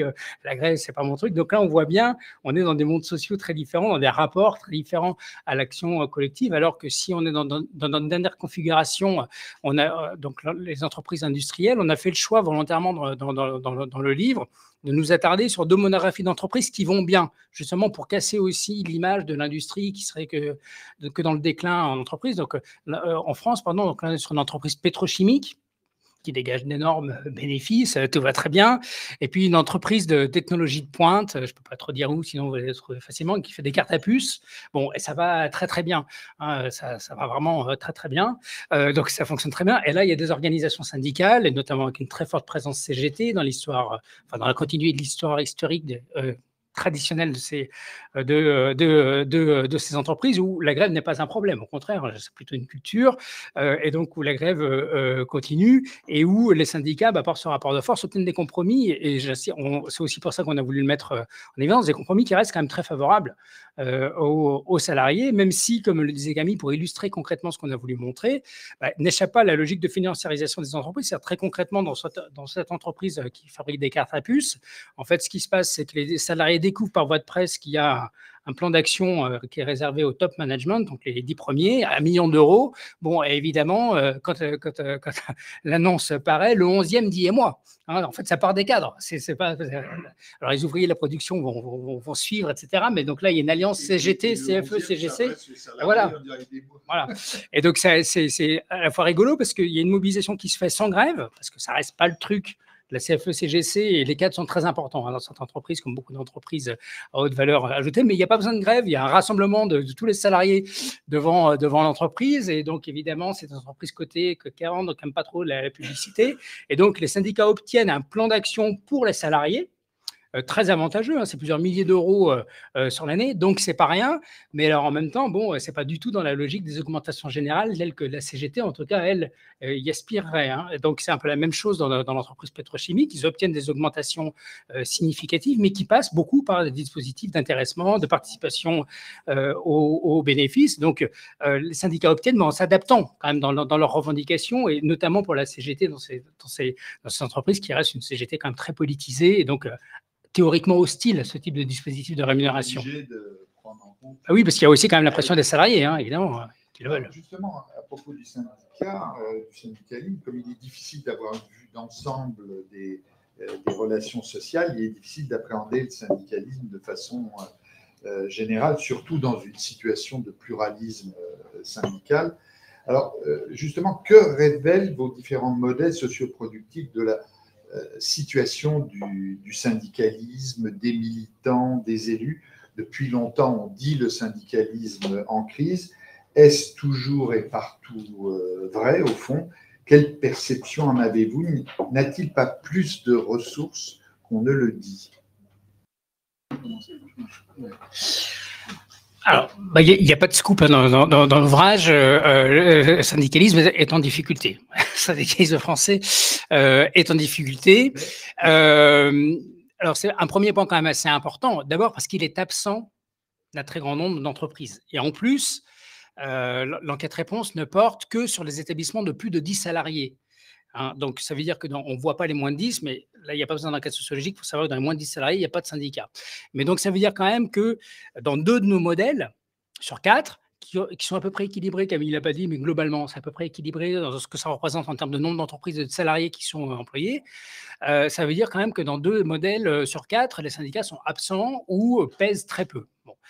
Dans les deux autres, il y en a un où il est quand même bien en difficulté, c'est le secteur sanitaire et social, à la fois parce que l'implantation syndicale, elle est très variable. Dans le secteur de l'aide à domicile, c'est balbutiant, c'est nouveau. Donc, c'est limité. Et puis, parce qu'on l'a dit, bah, il y a des contraintes telles que même là où ils sont bien implantés, les syndicats ont quand même beaucoup de difficultés, on, l'a tous suivi avec le Ségur, hein, ont beaucoup de difficultés à obtenir des compromis à l'avantage des salariés. Et sans plutôt la CFDT. oui, effectivement, voilà. Hein, effectivement. en plus, c'est la CFDT, alors, qui et en même temps, ce qui est intéressant, c'est de voir qu'en fonction des contextes, ça va être des types de CFDT euh, très différents. On a un hôpital psychiatrique où c'est la CFDT telle qu'on l'attend, artisan du dialogue social, euh, euh, très professionnel, très syndicalisme expert et de proximité, comme, comme, comme, comme on l'imagine et comme cherche à le, faire vivre la, CFDT. Puis dans l'aide à domicile, on a, on a des militants de CFDT très intégrés dans leur collectif, mais qui sont confrontés à un employeur en fait qui ne veut pas négocier hein, et qui, lorsque elle commence à s'émanciper un petit peu de la relation très paternaliste dans laquelle elle veut les entretenir. D'ailleurs, lui, il appelle le responsable local de la CDT pour lui dire ça serait bien que tu les contrôles un petit peu, euh, euh, etc. Bon, euh, évidemment, elles sont dans une relation beaucoup plus conflictuelle, mais j'allais dire un conflit imposé, hein, parce qu'elles arrivent vraiment à, rien obtenir. Donc, c'est peut-être aussi ça, pour répondre un petit peu à ta question, c'est de montrer aussi comment, derrière des étiquettes syndicales, il y a des variétés, des variations euh, qui tiennent aussi pour beaucoup au fait que ce pas les mêmes profils de militants, ce pas du tout les mêmes contextes de relation avec, avec les, euh, les, employeurs. Et juste pour terminer sur la dernière configuration, c'est aussi pour ça qu'on avait mis l'accent sur ces entreprises industrielles qui vont bien, pour éviter d'alimenter non plus un syndicalisme, enfin une vision trop décliniste sur le syndicalisme, c'est de montrer quand même que le syndicalisme, là où il est présent, reste utile. Si je prends juste l'exemple de, ces militants de la CFDT, si on les compare avec la représentante du personnel que j'évoquais précédemment, non syndiquée d'une entreprise d'aide à domicile, qui est euh, pieds et poings liés, si je puis dire, vraiment dans une relation de dépendance totale vis-à-vis de son employeur, ben justement, ces militants de la CFDT, elles s'émancipent parce qu'elles se forment. Euh, elles ont une structure syndicale qui les aide, qui les soutient. Voilà. Donc, elles ont des ressources, elles connaissent leurs droits. Enfin, c'est déjà le BABA, mais elles connaissent leurs droits. Elles n'ont pas peur de s'affronter à leur employeur parce qu'elles sont protégées aussi par, par euh, leur structure. Elles constituent un collectif, elles y consacrent beaucoup de temps et donc, bah, malgré tout, elles obtiennent, alors ça reste des petits avantages, mais ça va être euh, une prise en charge des, des, frais kilométriques, ça va être une prise en charge pour le, les déjeuners que les, que les salariés prennent dehors. Et puis, vous avez la configuration encore plus favorable où vous avez une entreprise qui va bien, des syndicats qui savent faire et qui obtiennent des, euh, compromis encore euh, euh, utiles. Donc, c'est aussi de regarder qu'est-ce qui se passe, ou justement, qu'est-ce qui ne se passe pas lorsqu'il n'y a pas de syndicat, qui montre que malgré tout, bah, les syndicats restent quand même un acteur, et on peut même dire indispensable, en fait, si on veut vraiment qu'il y ait un dialogue social, j'allais dire, un minimum équilibré. Oui, pour rebondir justement, du coup, puisque dans la question, il y avait aussi les, élus. Et donc, dans, ces deux, mondes, ou même dans, les autres, où il n'y a pas de syndicat, euh, ce qu'on a beaucoup euh, vu dans les, enquêtes monographiques, c'est que euh, on a quand même des directions qui restent très hostiles à des représentants du personnel, donc qui n'ont pas forcément envie hein, d'aller dans une culture du dialogue social ou leur dialogue social selon leur vision. Et euh, donc, ça peut quand même aboutir à des, euh, euh, éventuellement des stratégies du coup de, de, pas seulement contournement. En fait, on va dans ces petites entreprises, hein, on a vu certains cas, c'est la direction qui va choisir tel salarié pour qu'il ou elle aille se présenter à l'élection du CSE aujourd'hui, ou c'était plutôt CE, CE et, et, donc du coup pouvoir continuer à le contrôler et finalement s'en servir pour relais euh, relais des décisions qui sont prises par la direction, euh, mais pas du tout dans un, euh, objectif de ah bah, tu peux éventuellement me faire remonter les problèmes. Non, de toute façon, on est toujours dans une relation. Moi, je, je vois les problèmes, j'ai pas besoin. donc c'est c'est ça aussi que, que, nous montre l'absence finalement aussi des syndicats, même lorsqu'on n'est que représentant du personnel et en plus non syndiqué, eh ben on manque de ressources que pourrait nous permettre de donner un, syndicat et aussi de, euh, de finalement bah, de, essayer de construire de ressources pour construire un rapport de force euh, ou être en tout cas un peu moins dans cette relation euh, de, aussi de, domination, de subordination qu'on a en tant que salarié. Alors, s'il y, a des, s'il y a des différences du, du côté du syndicalisme dans, dans, les différents modèles que vous mettez en avant, que diriez-vous des dirigeants, alors, les patrons, euh, les directeurs, euh, les DRH que vous avez pu rencontrer. Comment se sont-ils, en fin de compte, appropriés le cadre de cette négociation d'entreprise et que font-ils des marges de jeu plus grandes dont manifestement ils disposent aujourd'hui bah, ce qu'on peut commencer à, dire déjà, c'est que euh, ce qu'on montre après d'autres euh, travaux, mais c'est que les, relations sociales, elles sont prises en charge par des acteurs très différents déjà en fonction des, entreprises. Parce que comme Camille l'a dit dans la première configuration, euh, il y a un employeur, il n'y a pas de, de service RH, il y a parfois une comptable. Et souvent encore, c'est une activité qui est de plus en plus externalisée. Euh, donc, il n'y a pas de professionnels euh, des RH et encore moins de professionnels des, euh, relations sociales. Et pour rebondir sur ce que disait Camille, là, typiquement dans ce genre de configuration, les employeurs disent, parce qu'on les a rencontrés en entretien, on fait du dialogue social, mais c'est du dialogue social en direct. Hein, c'est avec les salariés. On n'a pas besoin de, représentants du personnel et encore moins de syndicats. Bon, le syndicat, c'est vraiment vu comme l'ennemi, comme ce qui va foutre la, zizanie et, altérer un modèle de gestion familiale tel qu'il est présenté, bon, qui, va, qui risque de remettre en cause surtout le, caractère unilatéral du pouvoir de, de, l'employeur. Et pour rebondir sur ce dit Camille, effectivement, c'est un point assez important, c'est que notamment dans notre deuxième modèle, où on a des représentants du personnel non syndiqués, bah, ils sentent bien les limites de leur action et de leur reconnaissance et de leur maîtrise des sujets et des cadres de la négociation, mais ils se tiennent à l'écart des syndicats, moins par répulsion pour les syndicats que par crainte des représailles et du durcissement des relations que cela pourrait engendrer avec la direction. Très concrètement, dans une de ces entreprises euh, euh, qui va bien, hein, qui fonctionne très bien, qui n'a pas sous tension euh, économique. Les, représentants du personnel sont formés parce que c'est une obligation sur des questions de conditions de travail et donc découvrent, donc c'est pas du tout une formation syndicale, hein, c'est une formation assurée par le ministère du Travail, et donc découvrent tout un ensemble de droits qu'ils ignoraient jusqu'alors, donc reviennent dans l'entreprise et donc ils font valoir leurs droits. Et, donc là, il y a une DRH dans cette entreprise qui n'est pas du tout une professionnelle des relations sociales, mais qui leur dit ah, si on applique si vous nous faites appliquer des obligations légales, alors nous, on revient sur les arrangements sur lesquels on était euh, sur, la souplesse dont on faisait preuve dans le fonctionnement du, CSE. Donc, euh, si, vous venez sur le terrain du droit, on va appliquer le droit et donc vous allez y perdre. Donc, euh, menace. donc, évidemment, donc, un représentant personnel, surtout, on va surtout pas voir les syndicats parce que sinon, ça va être encore pire. donc, donc, là, on veut bien dialoguer. Hein, dans cette deuxième configuration, on veut bien dialoguer avec des représentants personnels qui jouent le jeu de l'entreprise.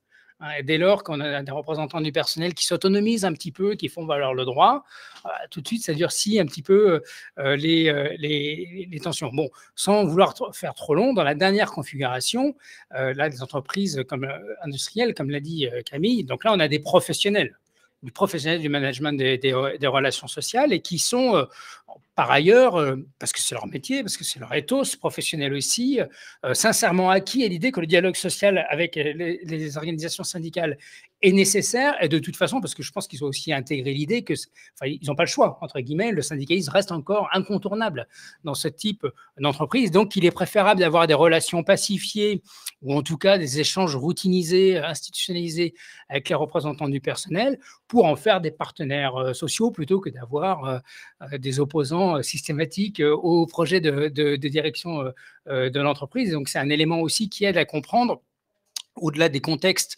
économiques, on, a affaire là à des représentants de direction qui sont plus disposés à voir aussi l'intérêt de rechercher des compromis avec les représentants euh, du personnel, même si, bon, je pense que ça ne surprendra pas trop euh, le public de, la PSE, on a évidemment affaire à des RH euh, que nous on qualifie en sociologie de, dominants-dominés, c'est-à-dire qui sont quand même sous, la contrainte, sous la domination des services financiers, des directeurs financiers et des, actionnaires, qui sont quand même ceux qui fixent la stratégie de l'entreprise. Donc on peut avoir des RH qui cherchent à obtenir des marges de manœuvre de la part de leur, de, directeur financier sans forcément être euh, très entendus. Alors, pour l'anecdote, alors là, je renvoie à d'autres euh, d'autres travaux, mais où du coup, on a des RH qui sont contents, en fait, leur à grève, euh, parce que ça leur donne une ressource argumentative auprès de leur direction financière. vous voyez, quand même, ça pose problème, là, ce que vous nous demandez. donc, si vous voulez que ça se passe bien, il faut quand même me donner un peu de marge de manœuvre, un peu de souplesse dans mes, dans mes, dans mes négociations. La grève en support du pouvoir des, des, RH, en quelque sorte à vous lire, on perçoit euh, qu'une approche en termes de, rapport de force montre qu'il y a eu euh, dans le temps euh, donc une sorte d'inversion. L'acteur syndical, les salariés plus largement, se retrouvent dans une situation beaucoup plus contrainte, on le disait au début, que lors du compromis fordiste. Alors, vous citez à plusieurs reprises, je trouve que ça c'est intéressant, un, un article de Jérôme Pelis, euh, Une grève froide inversée, point d'interrogation, éléments sur les mutations des relations professionnelles dans l'entreprise en France. Il établit une comparaison entre les années autour de 68 et les années autour de 2018. D'offensive, euh, l'action collective, y compris en termes de négociation, est devenue beaucoup plus défensive aujourd'hui.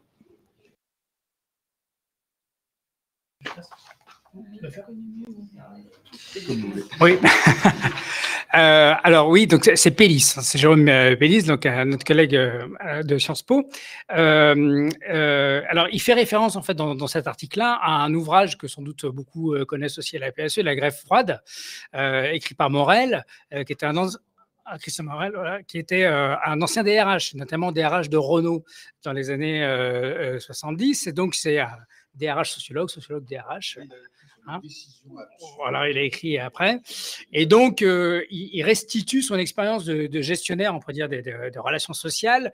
Donc, dans le contexte des années 70, dans le contexte de la grande entreprise industrielle, donc avec forte présence syndicale et forte présence syndicale cégétiste euh, des années 70, donc très politisée, on peut, on peut s'en douter. Donc le, terme de grève froide, il renvoie à l'idée qu'en gros, il y avait à cette époque-là une sorte de grève, de grève permanente. Hein, Ce n'est pas la grève tous les jours, mais de grève permanente, c'est-à-dire que le rapport de force était tel en faveur des, salariés et euh, euh, des syndicats que euh, même sans faire la grève, les syndicats parvenaient à imposer ce que l'auteur appelle des systèmes indulgents, c'est-à-dire des formes de souplesse aux, directions, des marges de manœuvre supplémentaires dans l'organisation du travail. Et donc en gros que les salariés ben, pas rester maître de l'organisation du travail, ça serait un petit peu exagéré, mais réussissaient à s'octroyer des marges de manœuvre dans la manière d'exécuter euh, euh, et de réaliser euh, la production.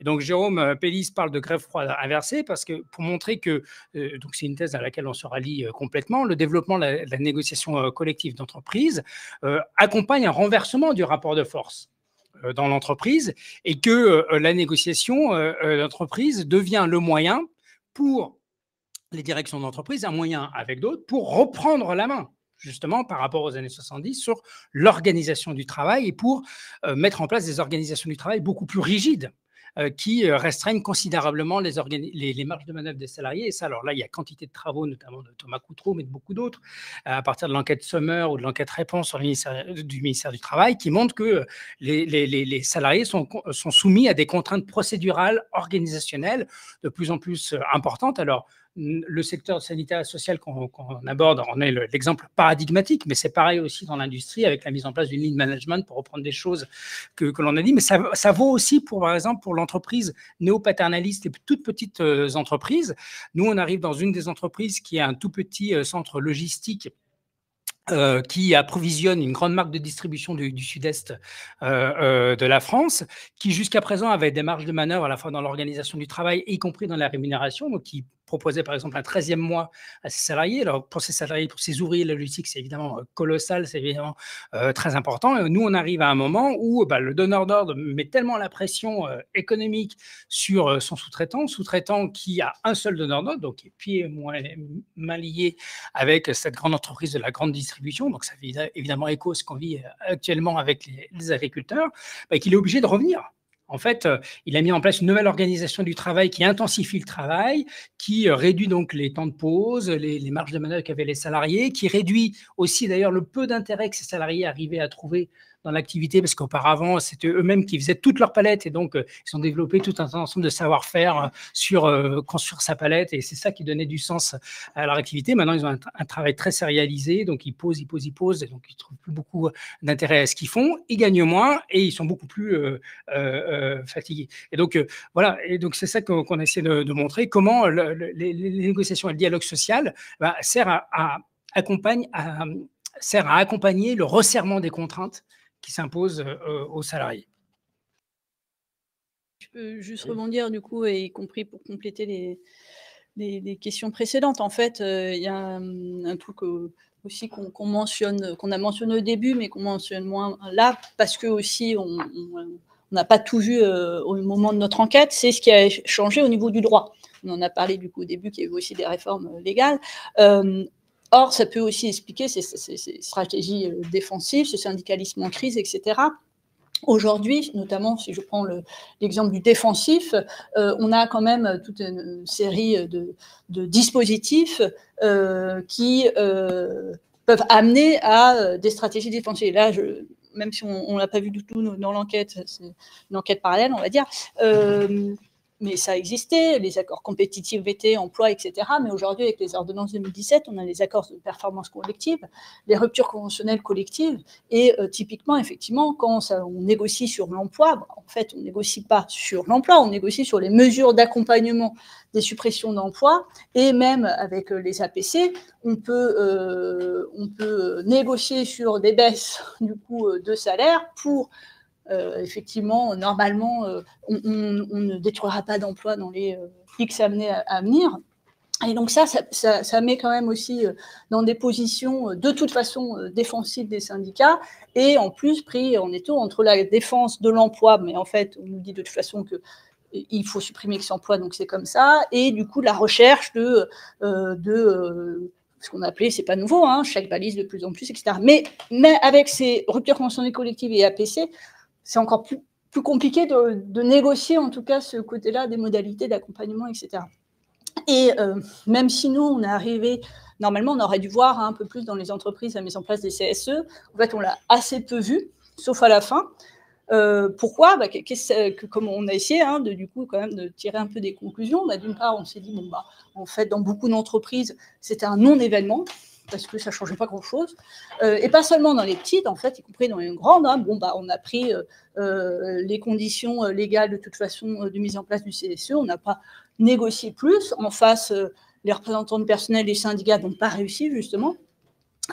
et donc, un certain nombre d'enquêtes ont montré sur la mise en place du CSE, c'est notamment dans les grandes entreprises, c'est qu'il y avait de plus en plus de représentants au niveau central, et donc qui s'éloignaient aussi des salariés euh, et qui avait de plus en plus de tâches, etc. Et donc ça, ça contraint également, hein, on parlait de syndicalisme en crise, mais ce contexte, ces changements de règles euh, n'aident pas non plus euh, bah, à, à, déjà susciter, on va dire, auprès des salariés des vocations d'élus, puisque le travail est compliqué. Ils ont une charge de travail énorme. Hein, ça, voilà, ils, nous le disent également dans les entretiens, c'est compliqué, on passe de ça, ça, ça. on doit être euh, on doit avoir des connaissances sur les activités culturelles, économiques, sociales. Maintenant, ça va être aussi euh, transition écologique. Euh, donc, voilà, il y a aussi voilà, les, changements de règles n'aident pas le travail des élus et également des syndicats. Juste ça pour Alors, venons-en peut-être maintenant à une, actualité plus proche. Euh, dans le prolongement de votre euh, travail, vous, avez mené les enquêtes euh, avant le Covid. Or, depuis, on a assisté à deux événements. D'une part, des, tensions en matière de recrutement dans les entreprises, nées en partie des interrogations des, salariés et pas seulement des jeunes sur, sur le travail. Euh, le mouvement, par ailleurs, de, le mouvement interprofessionnel des retraites en, 2023 a mis au jour des tensions dans le travail et pas seulement euh, pour, les, pour les seniors. Alors, est-ce qu'on n'entre pas, euh, ça c'est un peu une réflexion, hein, dans une, une période à certains égards nouvelle avec des rapports de force qui, qui bougent jusqu'à quel point? Peux commencer si tu veux compléter, Baptiste. Euh, oui, euh, donc effectivement, c'est euh, dans les, entretiens qu'on a pu avoir, y compris avec des journalistes, on avait souvent cette question-là, du parce qu'on parle, on a parlé beaucoup il y a un an de la grande démission, par exemple, on parle beaucoup, voilà, du sens du travail. Bon, euh, d'une part, la grande démission n'existe pas complètement euh, en France, mais même si euh, on ne le voit pas, effectivement, on sent que depuis le Covid, il y a éventuellement un rapport au travail. Je ne dis pas qu'il aurait changé, mais qui est davantage questionné, en fait, et du coup, effectivement, euh, euh, on se dit, bon, bah voilà, effectivement, j'ai moins envie d'accepter des choses que j'acceptais avant, je peux peut-être partir, etc. Et de l'autre côté, des tensions de recrutement dans certains secteurs, mais c'est là où, pour euh, revenir sur ce qu'on a montré dans l'ouvrage, en fait, un de ces secteurs, c'est quoi ce qui a aussi été mis en évidence justement par le Covid, c'est tout ce secteur sanitaire et social où effectivement, hein, la DARES font des rapports de, de prospective des métiers. Euh, le, métier de demain, l'un des dans le top 3 des métiers où on va avoir des besoins en recrutement demain, c'est les aides à domicile, aides-soignantes, assistantes maternelles. C'est la catégorie. Euh, c'est, euh, on l'a dit, plutôt nous, donc, dans des secteurs contraints, que ce soit dans nos organisations néo-tayloriennes, mais on avait aussi une petite entreprise paternaliste dans ce secteur, où on a vu bah, la réponse pour l'instant, en fait, elle, est quand même bloquée. Euh, il y a déjà des, euh, des formes de, euh, de, de, résistance ou d'exit, en fait, donc de sortie de l'entreprise par ces turnovers, où effectivement les salariés peuvent essayer d'aller dans les, dans les organisations, les établissements, les associations qui leur procuraient de meilleures conditions de travail. Donc on peut se dire, bah, ils ont déjà un petit peu un rapport de force. Le problème, c'est voilà, c'est aussi côté euh, contraintes publiques dépenses publiques, tant qu'il euh, y a une, aussi forte contrainte, euh, y compris voilà, dans, les budgets, on ne voit pas comment on peut aussi s'en sortir. Et puis, une autre chose, on l'a vu en fait, hein, l'année dernière, donc là ça s'est calmé, mais un an, un an et demi de contexte inflationniste. Ce qui a été aussi mis en avant justement, c'est bah, les NAO, donc euh, est-ce qu'on a réussi à, négocier dans les entreprises des augmentations de salaire? C'était quand même le contexte, euh, à la fois attention au recrutement, euh, on sort du Covid, on se pose des questions sur le travail, on a une grosse inflation, donc on va remettre sur le devant de la scène les négociations salariales. Bon, bah, qu'est-ce qui s'est passé? Il y a eu plus de négociations, effectivement, au niveau des branches pour les minima déjà, et encore pas assez, puisqu'on on sait qu'il y en a certaines qui ont toujours des minima inférieurs au salaire euh, minimum. Et dans les entreprises, on a plus négocié, mais les augmentations de salaire qui ont été négociées restent quand même finalement plus élevées qu'avant, mais très inférieures à l'inflation. On est autour de 3,5-4% en moyenne euh, dans les entreprises. On était à une inflation plutôt de 6-6,5%. Donc on voit quand même que voilà, euh, même dans un contexte un peu plus favorable, le rapport de force, est quand même encore bien déséquilibré. Euh, donc on l'a nié hein, par toutes les contraintes euh, qu'on a déjà données, par aussi le, les contextes, les contraintes d'ensemble, on va dire. je, voulais rajouter quelque chose. Tu veux, tu veux compléter non, mais, je, revenir, je bon, je te redonne la parole. Non, mais juste pour aller dans, dans, dans, le sens de ce que vient de dire Camille, puis pour vendre un peu l'ouvrage, c'est quand même l'objectif. Non, non, mais je plaisante. Mais euh, bah, effectivement, en fait, euh, euh, comment dirais-je euh, On est sorti de la période de Covid avec une, une, une, une mise en valeur politique du rôle des, euh, des, des, premiers de corvée, des, des salariés de cordée, euh, bon, etc. Et ce qu'on voit, euh, ce qui ressort de notre ouvrage, bon, c'est pas une grande surprise, hein, mais ce qu'on essaie de démontrer empiriquement, c'est que c'est les grands perdants en fait de la décentralisation du, du, dialogue social. c'est pour ça tout à l'heure tu parlais des questions des, mondes sociaux et que moi je parlais de rapports sociaux de classe parce que en fait ceux qui sont les plus contraints dans les univers où ils travaillent dans leur capacité individuelle ou collective à obtenir des compromis qui soient euh, favorables tant du point de vue de leurs conditions de travail que du point de vue de leur rémunération euh, dans, dans, dans, leur entreprise, ce sont les ouvriers et, les employés, et notamment les plus déqualifiés d'entre eux. Que ce soit ceux qui travaillent dans les petites entreprises néo-paternalistes où ils sont majoritaires, ou que ce soit ceux qui travaillent dans les grandes entreprises industrielles. Alors évidemment, nous, on a fait le choix de mettre la focale sur les entreprises qui vont bien, mais à côté de ça, il y a évidemment toutes les entreprises du secteur de la logistique, pour prendre un exemple dont on a beaucoup parlé euh, etc., euh, euh, où domine l'antisyndicalisme féroce, où sont recrutés des salariés pour occuper des emplois peu qualifiés, où donc le turnover est, posé comme un, acte de gestion, enfin comme un modèle de gestion du, personnel, etc., on ne cherche pas du tout à fidéliser, au contraire, la rotation est plutôt pensée comme une solution aux problèmes et aux risques de, de, conflits sociaux.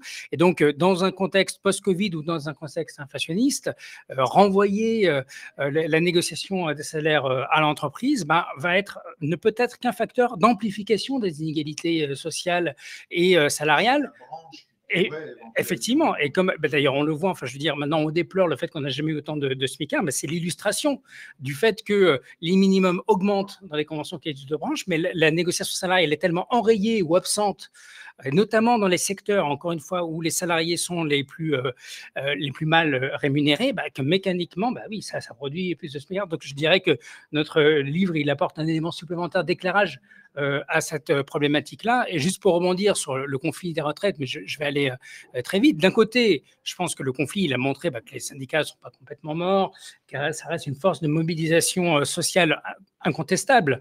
ils l'ont démontré. D'un autre côté, on a bien vu leur très grande difficulté à créer des conditions d'un arrêt de travail. Alors, la France, c'est l'arrêt, la grève générale, on appelle ça un petit peu comme on veut, comme on veut en fonction des, affinités politiques des, centrales. Mais dans un cas comme dans l'autre, ça n'a pas marché. La grève reconductible n'a pas fonctionné non plus dans les secteurs qui habituellement euh, peuvent l'organiser, la pétrochimie, euh, euh, etc. Et que bah, les, syndicats, surtout, là, depuis la, rentrée 2020, septembre 2023, bah, ont été dans l'incapacité. Ils y ont essayé. Euh, à travers une ou plusieurs journées d'action, à, susciter des mobilisations sur des questions salariales. Donc on reste surtout, enfin, y compris du côté des syndicats, enfermés dans des mobilisations très décentralisées, très par entreprise, avec donc du coup cette difficulté à, surmonter ces effets d'inégalité liés à leurs implantations euh, très variables dans les entreprises. Avec des, tensions liées aux, élections professionnelles aussi dans, la période récente. Peut-être une, dernière question avant de vous donner la, parole. Dans la négociation d'entreprise, et ça vous le montrez euh, bien, on vient d'en parler, la question du salaire est, euh, souvent dominante. Euh, les conditions de travail sont moins en pointe, nettement moins en pointe. Et alors, j'ai été frappé euh, à la suite du, mouvement des, retraites euh, d'entendre aussi bien euh, Laurent Berger de la CFDT comme Sophie Binet de la, CGT mettre la question de l'organisation du travail comme un nouveau défi pour le syndicalisme. Alors, à partir de, de vos travaux et de vos observations, peut-il y avoir là un nouveau terrain euh, d'action et de négociation dans, l'entreprise Et à quelles conditions? Une question. Euh, oui, bah, salaire, conditions de travail. Alors, effectivement, euh, donc ce qu'on voit, c'est qu'on négocie encore sur les salaires, effectivement, mais quand même, dans, le, dans ce modèle-là des organisations néo-tayloriennes des services, la question des conditions de travail hein, était était présente, euh, était euh, euh, mobilisatrice, ouais, était en jeu de mobilisation et de conflit, enfin surtout de conflit, de mobilisation d'ailleurs, de conflit, de tension. et pourtant, voilà, on avait quand même du mal à négocier, enfin en tout cas à négocier des choses qui permettaient d'améliorer les conditions de travail. et du coup, la question, si c'est même sur l'organisation du travail en elle-même, ce qu'on a vu quand même euh, dans, les entreprises qu'on a, on est allé, c'est que, bah, d'une part, de manière générale, euh, les directions d'entreprise euh, veulent garder la main sur la direction de leur entreprise, donc sur l'organisation du travail, ça, semble compliqué de qu'ils lâchent un peu de laisse, on va dire, là-dessus. alors, d'un côté, il y a aussi le, le fait qu'on voudrait discuter euh, davantage du travail dans les organisations et du coup aussi au-delà des syndicats. Donc ça, c'est aussi des choses, hein, qui c'est pas nouveau. Euh, on a parlé des lois euh, au départ, mais après tout ce qui est lean management, au départ, c'était aussi des dispositifs de groupes de parole, d'expression, etc. mais pas forcément organisés avec les élus, avec les syndicats, avec tous les salariés. Bah, est-ce que ça a marché? Bon, voilà, ça, c'est pas nouveau, du coup, c'est il y a 20 ou 25 ans.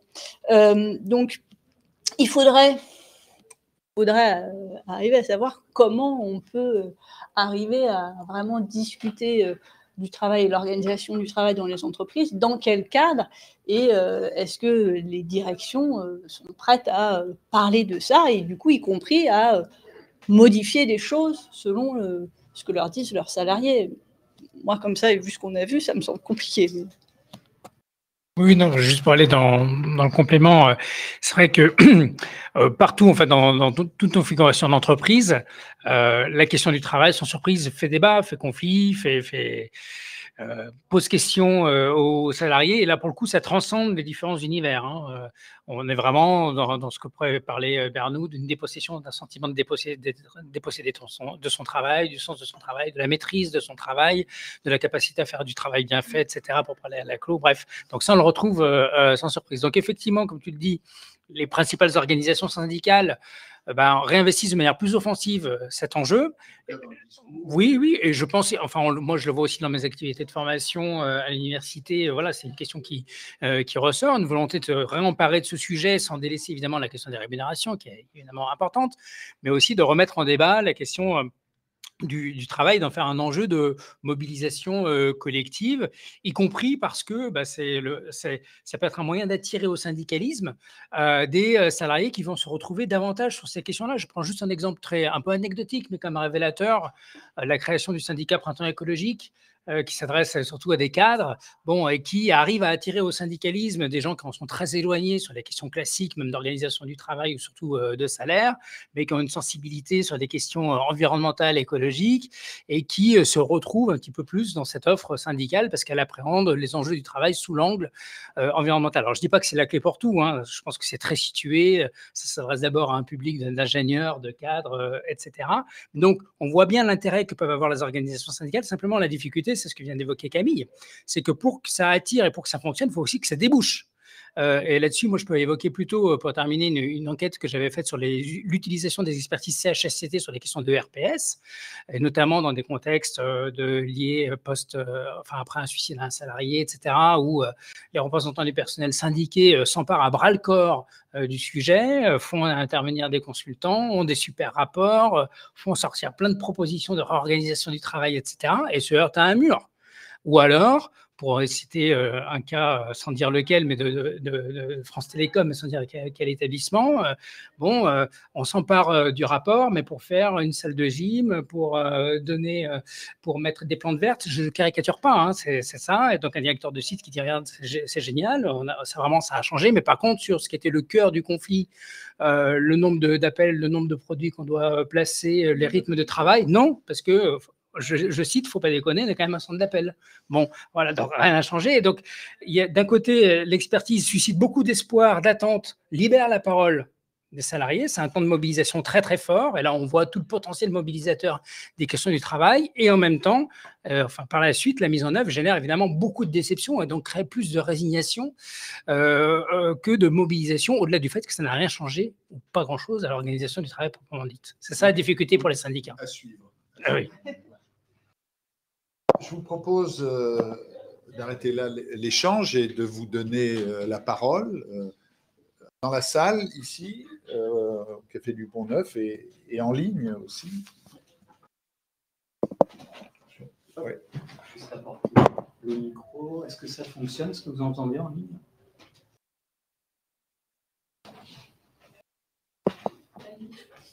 A priori, oui.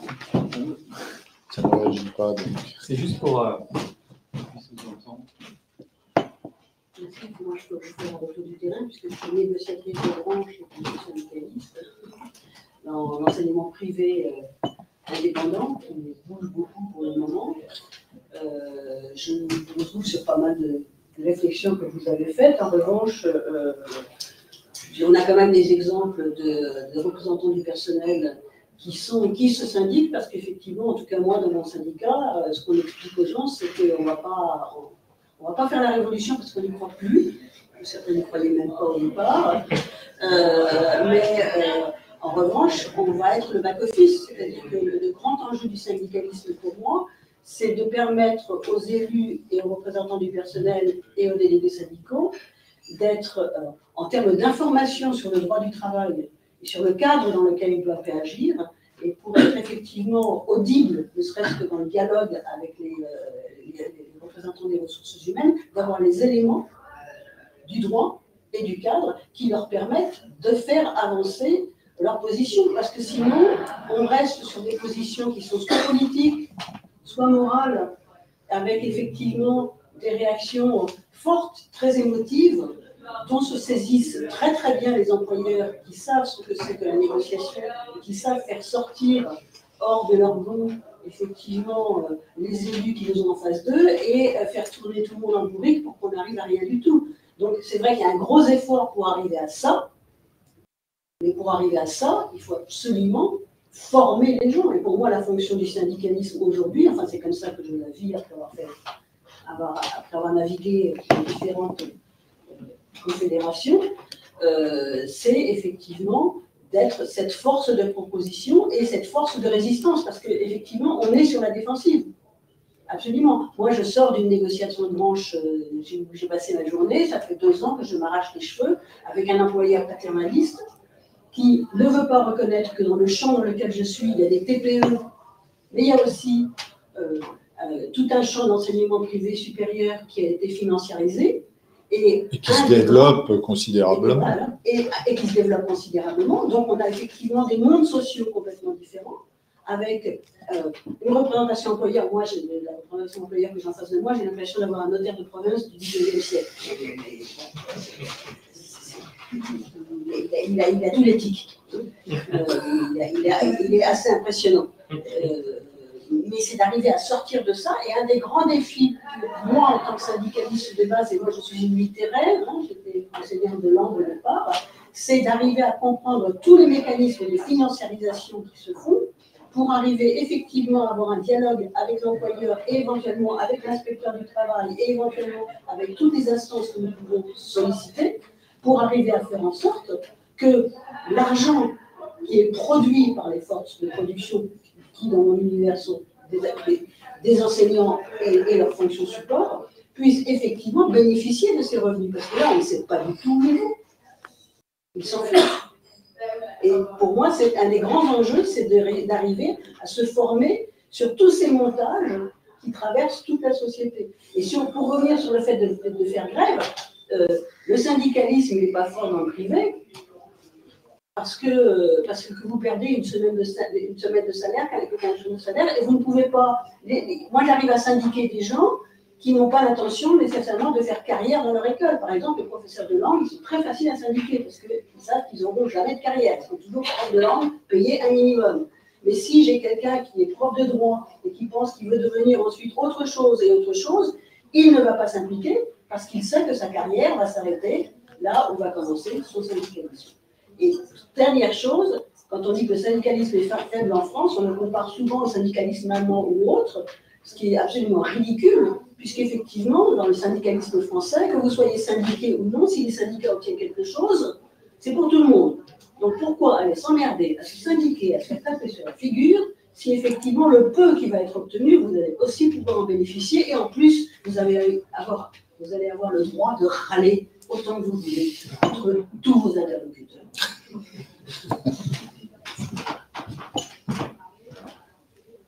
Je ne sais pas si vous voulez réagir. Oh si, je bien. Oui, non, mais je vous rejoins d'autant plus qu'en fait, sur le syndicalisme allemand, il y a un grand mythe, parce qu'en Allemagne, c'est 20% de syndiqués, donc c'est pas non plus. Euh, le syndicalisme allemand a beaucoup, beaucoup perdu euh, sous l'effet de la transformation du modèle productif euh, allemand et de, l'externalisation, notamment dans, l'industrie, etc. On a souvent l'image des IG Metall qui est très fort, c'est très vrai, mais pour le noyau dur, pour le secteur primaire de, l'industrie, ils sont totalement absents, en grande difficulté, comme les syndicats français, pour organiser les salariés filiales sous-traitantes et qui sont évidemment les plus précaires et les plus, euh, les plus vulnérables. Donc là où je vous rejoins complètement, c'est surtout par rapport au syndicalisme nordique, euh, syndicalisme scandinave, qui est ce qu'on appelle un syndicalisme de service, et où l'adhésion syndicale permet d'avoir accès à la, sécurité sociale, en fait. Hein. Donc l'adhésion est une adhésion d'assurance sociale et pas une adhésion révolutionnaire ou de protestation, euh, bien sûr. Donc, euh, il y a des, intérêts à, se syndiquer. Et je vous rejoins aussi complètement sur la formation. Bien sûr. Alors, d'un côté, si vous voulez, il y a des représentants du personnel non syndiqué euh, qui n'ont pas cette appétence-là pour euh, se former parce qu'en même temps, euh, il faut bien voir que ce qu'on montre, c'est que pour certains, ils ne rentrent pas du tout dans une logique de contre-pouvoir hein, dans, leur rôle de représentant du personnel. Ils ont été sollicités par la direction et ils se pensent vraiment comme un relais de la direction. Et alors, d'autres, certains gèrent le CE sur un mode, dans une boîte d'ingénieurs. Là, bon, le CE, on est là pour mettre une bonne ambiance. On, entretient la bonne ambiance dans, la boîte. Et évidemment, ça va très bien à la direction. Ça fait partie de la construction, de la cohésion du groupe et du collectif de travail. bon, dans l'entretien, dans les entretiens, représentants de personnes, ouais, non, mais négocier, non, mais c'est compliqué. Mais en fait, en même temps, on sent que ça ne les intéresse pas du tout. Donc, cette dimension-là du travail de représentant du personnel. Donc, il y a aussi des manières différentes d'investir le rôle de représentant du personnel. Il y a l'autre configuration où vous êtes à l'écart des, syndicats et vous êtes aussi à distance. Bon, c'est un, un, élément quand même très important, c'est que je pense quand même qu'une des faiblesses du syndicalisme euh, français, c'est qu'il est euh, très inégalement euh, implanté. Il est très fort dans les grandes entreprises et les structures territoriales qui devraient être le lieu d'organisation, d'accueil, de, formation des, des, adhérents isolés ou des salariés représentants du personnel non syndiqué, etc., sont très faibles. Euh, bon, les, unions locales pour la CGT, euh, ça ne vit qu'avec euh, un permanent au mieux, souvent c'est un retraité, puis généralement il n'y a personne, ou, et c'est pas, le peu qui sont investis sont débordés, mais font de l'assistance juridique en permanence pour les salariés ou les adhérents, et donc n'ont pas du tout le temps de faire un travail d'organisation, et encore moins de formation. Donc c'est une vraie difficulté, et ça, ça je pense, alors les, les directions centrales en sont conscientes, euh, la CFDT est plutôt en avance euh, là-dessus, mais évidemment, après, euh, les directions fédérales, les fédérations, elles résistent lorsqu'il s'agit de mettre à disposition des permanents pour les structures territoriales. Là, il n'y a plus personne, parce que chacun veut garder ses permanents. Donc, je pense que c'est un vrai enjeu. Et moi, je suis quand même assez surpris, pour bien connaître les organisations syndicales, du fait qu'elles se soucient assez peu des représentants du personnel euh, non euh, syndiqués. Euh, j'ai entendu dire, alors je pense que c'est un effet positif, on va dire, même si tu as complètement raison, les élections professionnelles font que les relations de concurrence ont pris le pas sur tout le reste, c'est terrible. Bon, mais euh, j'ai entendu Sophie Binet, Marie-Lise Léon le dire, et je pense qu'elles ont quand même raison, et je pense qu'il faudra vraiment qu'elles le fassent entendre. Il y a pourtant beaucoup de marge. Il y a un grand marché à conquérir pour les organisations syndicales sans se marcher dessus. Il y a vraiment de la place pour tout le monde hein, quand, on part à, quand on part à 9% de, syndiqués.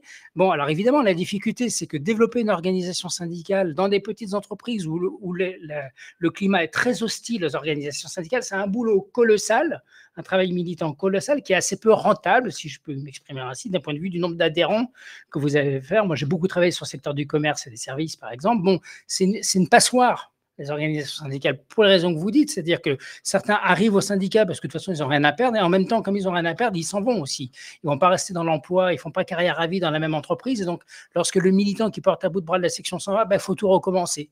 Et donc euh, dans, dans ce secteur-là, quelle que soit l'organisation, vous passez votre temps à former euh, des militants qui restent beaucoup moins dans euh, l'entreprise. Donc il faut dire que c'est une tâche aussi difficile et un peu ingrate. Hein. Nous sommes la deuxième organisation syndicale dans l'enseignement nous avons très très peu d'adhérents.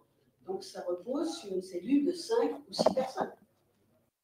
Et on est confronté à des signatures de protocole d'accord préélectoral, on est en plein dedans, où vous êtes convoqué euh, à Pétaouchnok euh, le 29 décembre à 9h du matin par une structure qui fait l'enseignement à distance, mais qui ne veut pas négocier avec vous en visioconférence. c'est pas drôle. C'est compliqué.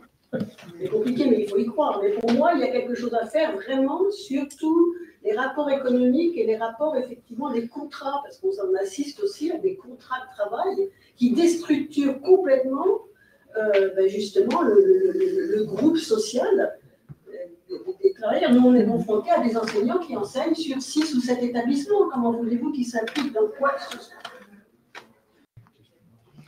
Alors, sur les, juste pour euh, compléter euh, ce qu'on a montré également dans le, premier chapitre de l'ouvrage, qui était aussi sur des résultats statistiques, c'est qu'il y avait ce, qui nous a un peu d'ailleurs questionné, et on aimerait bien savoir si ça va continuer dans la prochaine enquête statistique, c'est qu'on on voyait bien une baisse des délégués syndicaux dans les entreprises, mais par contre, sur les élus, justement, euh, par rapport à l'autre, à l'enquête d'avant, donc il y a trois, quatre, euh, quatre années de différence, on voyait une augmentation des élus avec une étiquette syndicale.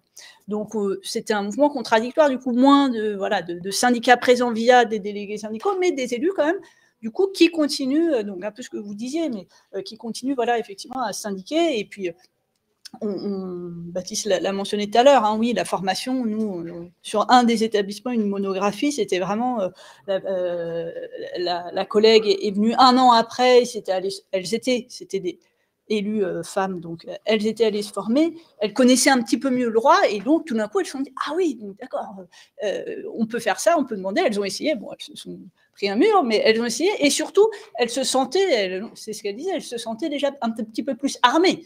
Donc il est clair que formation est mais voilà, après, c'est formation sur la question économique, euh, sociale. Euh, donc, ça devient de, un portefeuille de plus en plus quand même lourd et, euh, et ça peut. Enfin, c'est un contexte quand même qui est difficile, effectivement, pour susciter des, vocations, pas, pas, de syndicalistes de carrière, mais y compris voilà, d'élus. Vous avez trois mandats normalement. On, on peut avoir effectivement des gens qui sont RH de carrière qui ont été formés à la négociation, qui ont été formés à la gestion effectivement des rapports de force et autres. Mais on vous dit qu'en face, il faut que les élus, il faut que ça bouge, il faut que ça tourne.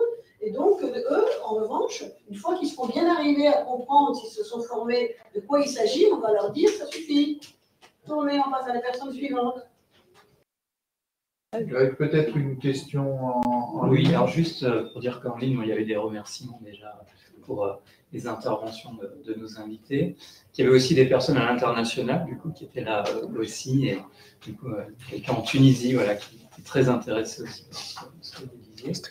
Et du coup, il y a, il y a une question justement sur, euh, est-ce que, en tout cas, votre connaissance, et ce que vous avez pu regarder aussi, est-ce que la typologie hein, sur laquelle vous appuyez avec ces quatre, quatre modèles, est-ce qu'elle peut s'appliquer aussi dans d'autres pays? Et est-ce que, du coup, il y a aussi des similarités de dynamique, en fait, dans d'autres pays, ou est-ce que c'est spécificité française? Non, moi, j'ai pas de connaissance. Euh, bah, alors, je pense que d'abord, il faut. Ça dépend si la question elle porte pour la Tunisie. Ça, j'en sais strictement rien. Je connais pas du tout. Voilà.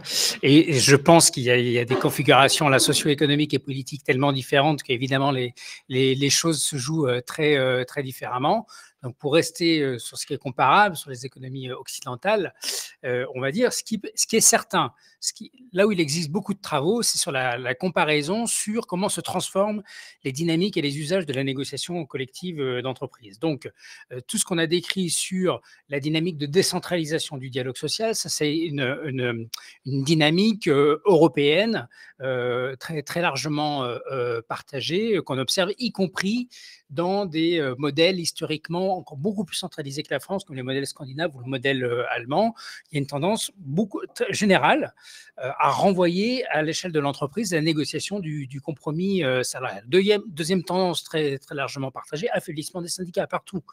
alors, évidemment, ils ne partent pas du même niveau, mais bon, je le disais sur l'exemple allemand, il faut vraiment enlever ce, mythe-là. Alors, d'une part, on voit que les Allemands peuvent faire grève, hein, on, l'a vu le mois dernier, les cheminots ont été engagés euh, il y a eu plus de grèves, pour ceux qui l'ignorent, plus de grèves chez les cheminots allemands que chez les cheminots français euh, euh, la dernière année. C'est les Allemands qui râlent et qui trouvent que maintenant c'est la culture de la grève qui, s'exporte chez eux, parce que là-bas aussi, comme chez nous, les négociations sont enrayées, elles sont contraintes, hein, donc contexte d'inflation, politique de réduction des dépenses publiques, etc. Donc les mêmes causes produisent les mêmes effets, même si les cultures syndicales, évidemment, ça je ne vais pas dire le contraire, ne sont pas tout à fait les mêmes. Donc la grève aussi se produit ailleurs, et en même temps, donc les syndicats allemands, comme la plupart des syndicats européens ben, se sont beaucoup affaiblis. je prendrai aussi l'exemple du syndicalisme britannique, qui, était, qui a été un des fers de lance du syndicalisme européen et qui a considérablement chuté suite à la désindustrialisation de, de, la Grande-Bretagne et à la mise à mort, on peut dire, des bastions industriels de l'industrie et des, ports et docks, notamment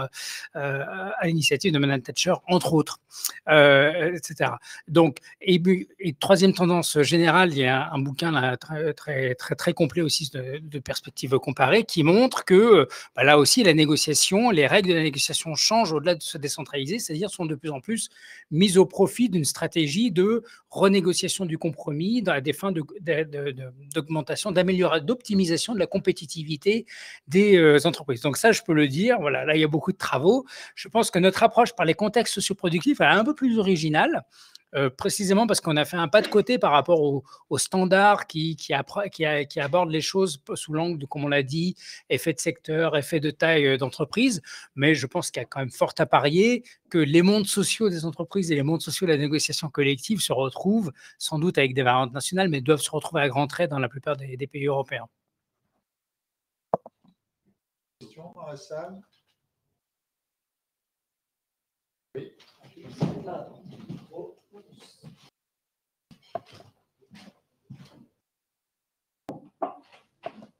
Alors, j'ai une question justement euh, à partir de mon expérience de sociologue en entreprise et qui a mené des diagnostics sociologiques dans le cadre des grands projets de transformation dans une. Et j'ai été frappée euh, dans dans des études que j'ai faites il y a 5 ans, 5-6 ans, où euh, dans un contexte de, manipulation, de machines, vous voyez, pas un contexte ouvrier, mais quand même avec de, l'automatisation du travail. Les syndicats, il leur était reproché justement de ne pas suivre et de ne pas répondre à leurs questions, que les syndicats étaient quand même très souvent sur le salaire, ce qui est très bien et ce qui est nécessaire, mais que le travail, la compréhension du travail, la résolution de problèmes, mettre les moyens pour résoudre les problèmes, parce qu'on fait appel à des grandes sociétés qui viennent installer, mais qui ne font pas après l'installation. Il y a toujours des adaptations organisationnelles à faire, et ça, ce n'est pas du tout pris en compte. Et c'est source de conflits dans ces entreprises, quand il y a des grosses transformations. Et là, euh, j'ai travaillé dans des contextes où il y a des expertises. Et honnêtement, euh, j'arrivais à avoir de bonnes relations à la fois avec les syndicats, à la fois avec les cadres qui portaient leur projet, les bien sûr, et avec ceux qui héritaient de la situation dont un travail. J'ai bien vu que quelquefois, les syndicats, quand ils négociaient, ils ne connaissaient pas le travail. Enfin, je ne sais pas ce qui se passe. Mais ça, ça m'a surprise et désagréablement surprise. Et je trouve que euh, les, on a eu des, paramètres sociaux qui tournaient dans l'entreprise et euh, la carotte financière n'a plus la même prise, je trouve, dans les entreprises. Et quand on parle de la crise du management, je fais vraiment un lien. Le cas des managers, la carotte financière ne leur suffit pas. Et ça, je n'ai pas réussi à le travailler parce que ça demande un énorme travail, effectivement, mais je trouve que là, il y a quelque chose à travailler sur les postures syndicales au service du travail. Et, ça, euh, c'est ce que vous abordiez. Je vous remercie d'avoir posé la question parce que je me disais, mais attendez, on est en 2023, 2024 maintenant, et on ne va pas continuer à être du modèle fordien où les syndicats ne présentent que le salaire. C'est pas possible.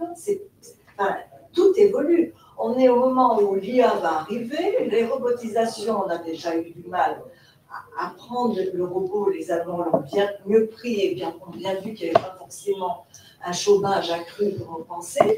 Et que font les syndicats sur ces sujets? Voilà, ça c'est ma, petite alors, je, peux, je peux dire deux choses euh, là-dessus pour, euh, pour commencer. Euh, oui, d'abord, ça ne me surprend pas. Alors, j'imagine que c'est plutôt une grande entreprise dans laquelle vous êtes intervenu, non, parce que ça, ça, a des effets importants, notamment sur le type, les modalités d'organisation de la représentation syndicale. Parce que quand on est dans une grande entreprise, le paradoxe, en quelque sorte, c'est qu'on a à la fois généralement des syndicats plus forts, en termes de nombre d'adhérents, d'expérience, euh, de moyens, de ressources, mais donc aussi, ça veut dire des, représentants syndicaux qui sont quasiment généralement ce qu'on appelle des quasi-professionnels de la représentation syndicale, par le jeu du cumul des mandats, par le jeu des droits syndicaux, et tant mieux. Euh, qu'ils arrivent à obtenir pour prendre en charge, etc. Donc loin du travail.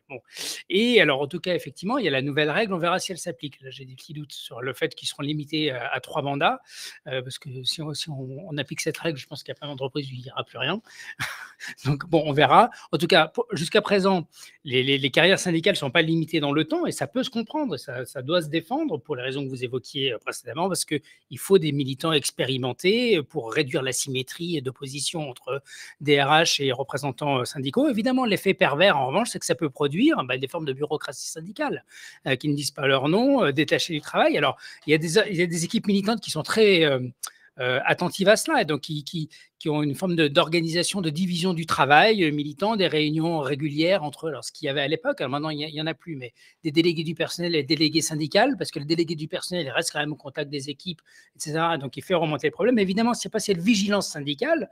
On a des délégués syndicaux qui, comme les RH, sont très vite détachés de la réalité euh, du travail. Et alors en plus, dans des contextes d'organisation où le travail évolue, à vitesse euh, grand V. Ça, dans les formations syndicales que je fais, certains le disent, moi, en fait, je ne peux pas retourner au travail parce que en fait, je suis dépassé. Donc, ils ont perdu les compétences euh, du travail. Bon, donc, ça, c'est un premier point, les effets pervers de la professionnalisation du travail syndical. Et on ne peut pas dire que les ordonnances travail et les ordonnances Macron vont améliorer les choses, parce qu'en réduisant le nombre de représentants du personnel, l'idéal des ordonnances Macron, c'est produire des professionnels de la représentation, des professionnels du dialogue social. Donc, il y a moins d'élus, mais des élus avec plus d'heures de délégation, donc nécessairement plus détachés des, collectifs du travail et des réalités du travail. Et un des grands effets pervers, au-delà du fait que ça, on a fait disparaître les CHSCT dans beaucoup d'endroits, c'est que ça risque de produire des représentants du personnel encore plus de facto détachés des réalités du travail, d'autant plus que comme ils vont avoir tout à gérer, on le disait tout à l'heure, transition écologique, économique, question de travail, ils passent leur temps à se former, c'est indispensable, mais bon, on ne peut pas tout faire. Hein, donc on ne peut pas tout faire. Deuxième élément, il y a peut-être aussi un effet de culture de génération. Moi, ça, je l'ai vu dans des entreprises industrielles où ceux qui mènent euh, le syndicat, c'est encore entre guillemets la vieille génération, bon, qui sont imprégnés de cette, je vais dire, ethos fordien. C'est comme ça que ça s'est toujours euh, négocié. Et je voyais bien que ça créait des tensions au sein même du syndicat avec les nouvelles générations, euh, bon, bah, qui se posent plus de questions, qui se sentent aussi déjà plus vulnérables de la pression des chefs. Je pense qu'il y a beaucoup de ça qui joue aussi. Hein. C'est que les vieux syndicalistes que je rencontrais, bon, entre guillemets, on leur fait pas. Et donc, euh, la pression du chef, je la mets à distance. Et puis, de toute façon, on va pas me chercher les noises parce que je suis délégué syndical et le DRH sait qu'il a quand même plutôt intérêt à, me laisser un petit peu tranquille. Ce qui n'est pas tout à fait le cas, même généralement pas du tout le cas pour évidemment les autres salariés ou même pour les autres militants syndicaux qui sont beaucoup plus exposés à la pression hiérarchique euh, qui sont en force et qui donc sont aussi, j'allais dire, logiquement plus sensibles euh, à ces questions-là et qui étaient assez désespéré de fait du voir que euh, ceux qui contrôlaient les mandats syndicaux s'investissaient assez peu ces questions d'introduction, euh, enfin des effets liés à l'introduction du lean management, etc., euh, etc. Donc je pense que là-dessus, je pense qu'on peut faire quand même l'hypothèse que le renouvellement des générations militantes, bah, pour une fois, les jeunes, c'est peut-être mieux. parce que généralement on dit avant c'était mieux, bah, peut-être que justement l'arrivée des nouvelles générations de militants, ça peut aider, ça peut accompagner euh, à la prise en charge de ces nouvelles thématiques. Et à mon avis, ce serait même pas un hasard que les deux nouvelles dirigeantes de la CDT et de la CGT, qui incarnent justement ce renouvellement de génération, bah, s'emparent quand même beaucoup plus facilement de ces nouvelles thématiques liées, alors pas simplement des conditions de travail, mais aussi sur les questions écologiques, la question des, effets de genre, inégalité de genre, etc. Bon, je pense qu'elles apportent avec elles ces nouvelles problématiques auxquelles elles sont, dont elles sont plus familières. Tout à l'heure, je, citais euh, Benoît Gauthier qui a fait une thèse euh, dans le cadre de notre entreprise et personnelle, à partir de l'exemple d'entreprise et personnelle, il a une expression qui est assez remarquable. Il parle des DRH sur le toit, en tout cas dans les grandes entreprises, c'est-à-dire que les DRH, ils sont de plus en plus hauts. Mais je crois qu'on a aussi des syndicalistes sur le toit, euh, en correspondance avec ces DRH sur le toit. Je pense qu'on va arrêter là euh, pour, euh, pour ce soir. Euh, je ne sais pas si Jean-Marie, tu veux dire quelque chose? Oui, j'avais peut-être une, toute dernière question euh, qui, a trait, je dirais, à la dimension interdisciplinaire, je l'évoquais, des, recherches sur les relations sociales. Vous êtes l'un et l'autre issus de disciplines différentes, je le rappelais, donc les sciences politiques pour Baptiste, l'économie pour Camille. Euh, que diriez-vous de, l'état de la recherche sur les, relations sociales? Donc, euh, Michel Lallemand nous a euh, parlé un peu de l'historique de, ces recherches à partir du, CNAM notamment, Georges Friedman, Jean-Daniel Reynaud. comment vivez-vous la dimension interdisciplinaire dans les recherches sur les relations sociales, le dialogue social, le syndicalisme. C'est beaucoup plus interdisciplinaire que par le passé. déjà sur l'interdisciplinarité, bon, je crois qu'on est euh, effectivement des chercheurs qui, qui, avons besoin de toute façon de discuter et discuter y compris avec d'autres disciplines. Et, euh, et c'est vrai que moi, sur des sujets comme ça, relations sociales, mais aussi travail, je ne vois pas comment on peut rester dans notre discipline. On est obligé de travailler dans l'interdisciplinarité parce que ça, ça, touche à des choses de l'économie, de la gestion, du droit, euh, voilà, des relations sociales, professionnelles. Euh, donc, euh, je pense que voilà, moi, je pense que c'est très important des recherches interdisciplinaires, mais il faut savoir que c'est pas si facile que ça. Et, et même si, euh, donc nous aussi, hein, euh, on est salarié, enfin on est salarié, on est agent beaucoup au public et fonctionnaire, on a des contraintes et on a aussi des injonctions contradictoires. Euh, ah, juste rapidement, c'est d'un côté donc le CNRS, qui est l'Agence nationale de la recherche, euh, incite beaucoup euh, les chercheurs à faire des projets interdisciplinaires. On doit répondre à des appels à projets où forcément il doit y avoir interlabo, interuniversité, interdiscipline. Très bien, et, on est d'accord. Sauf qu'en fait, après, quand on essaie de valoriser nos recherches, donc que ce soit par des publications, dans des revues académiques, et c'est là-dessus qu'on est, nous, évalués, hein, parce qu'on est évalués, et c'est là-dessus que, que, joue notre carrière, on va dire, entre guillemets, si on veut faire carrière. Euh, euh, en fait, c'est très difficile. c'est très difficile de les valoriser parce qu'on nous dit après ah, un ouvrage collectif. Euh, ah bah oui, ah oui, mais on nous a demandé de faire des, équipes collectives interdisciplinaires. Donc, voilà. et, et, moi, en économie, par exemple, je parle juste de ma discipline. En fait, c'est très difficile de faire de l'interdisciplinarité. On nous demande de d'être dans un format standard, de, de, publier dans des revues qui ont plus, on a des classements. Enfin bon, je vous passer les détails, mais et dans ces, revues distinguées, on ne fait pas l'interdisciplinaire, on doit faire un modèle économique très loin de la réalité, etc. Donc oui, donc c'est indispensable, mais c'est pas forcément facile. Et je pense que sur ce sujet, oui, c'est c'est indispensable. Oui, non, mais j'ai pas grand-chose à rajouter. Juste pour dire qu'effectivement, euh, par rapport à ce que tu disais par rapport à Michel Lallemand, je dirais que là où, euh, je sais pas, je dirais pas que c'est en général, mais en tout cas, moi, le fait d'avoir de, pu euh, rencontrer euh, Camille, travailler, alors on était au même labo euh, à ce moment-là à OLES, c'est comme ça que notre rencontre s'est faite. C'est que moi, justement, je travaillais déjà avant sur syndicalisme et relations professionnelles, mais je pense que pour toutes les raisons qu'on a dit précédemment, on ne peut pas comprendre comment évolue la relation professionnelle si on raisonne juste en vase clos, c'est-à-dire si on regarde juste ce qui se passe dans les institutions du dialogue social. On ne peut pas comprendre ce qui s'y joue si on n'a pas en tête comment se transforment les organisations du travail et comment se transforment les stratégies économiques des, des entreprises. Bon, et typiquement, moi là-dessus, j'étais nettement moins au clair que ce que je ne le suis aujourd'hui, avant de travailler avec Ami, qui m'a apporté tous ces travaux, toute cette euh, littérature-là. Moi, j'ai plutôt amené la, dimension, bah, justement, comment s'organise le travail syndical, les tensions qui les traversent, euh, etc. Donc, euh, voilà, plus, que jamais, je pense que ça a toujours été vrai, mais c'est ce qu'on a réussi, enfin, je, pense qu'on a réussi à le faire.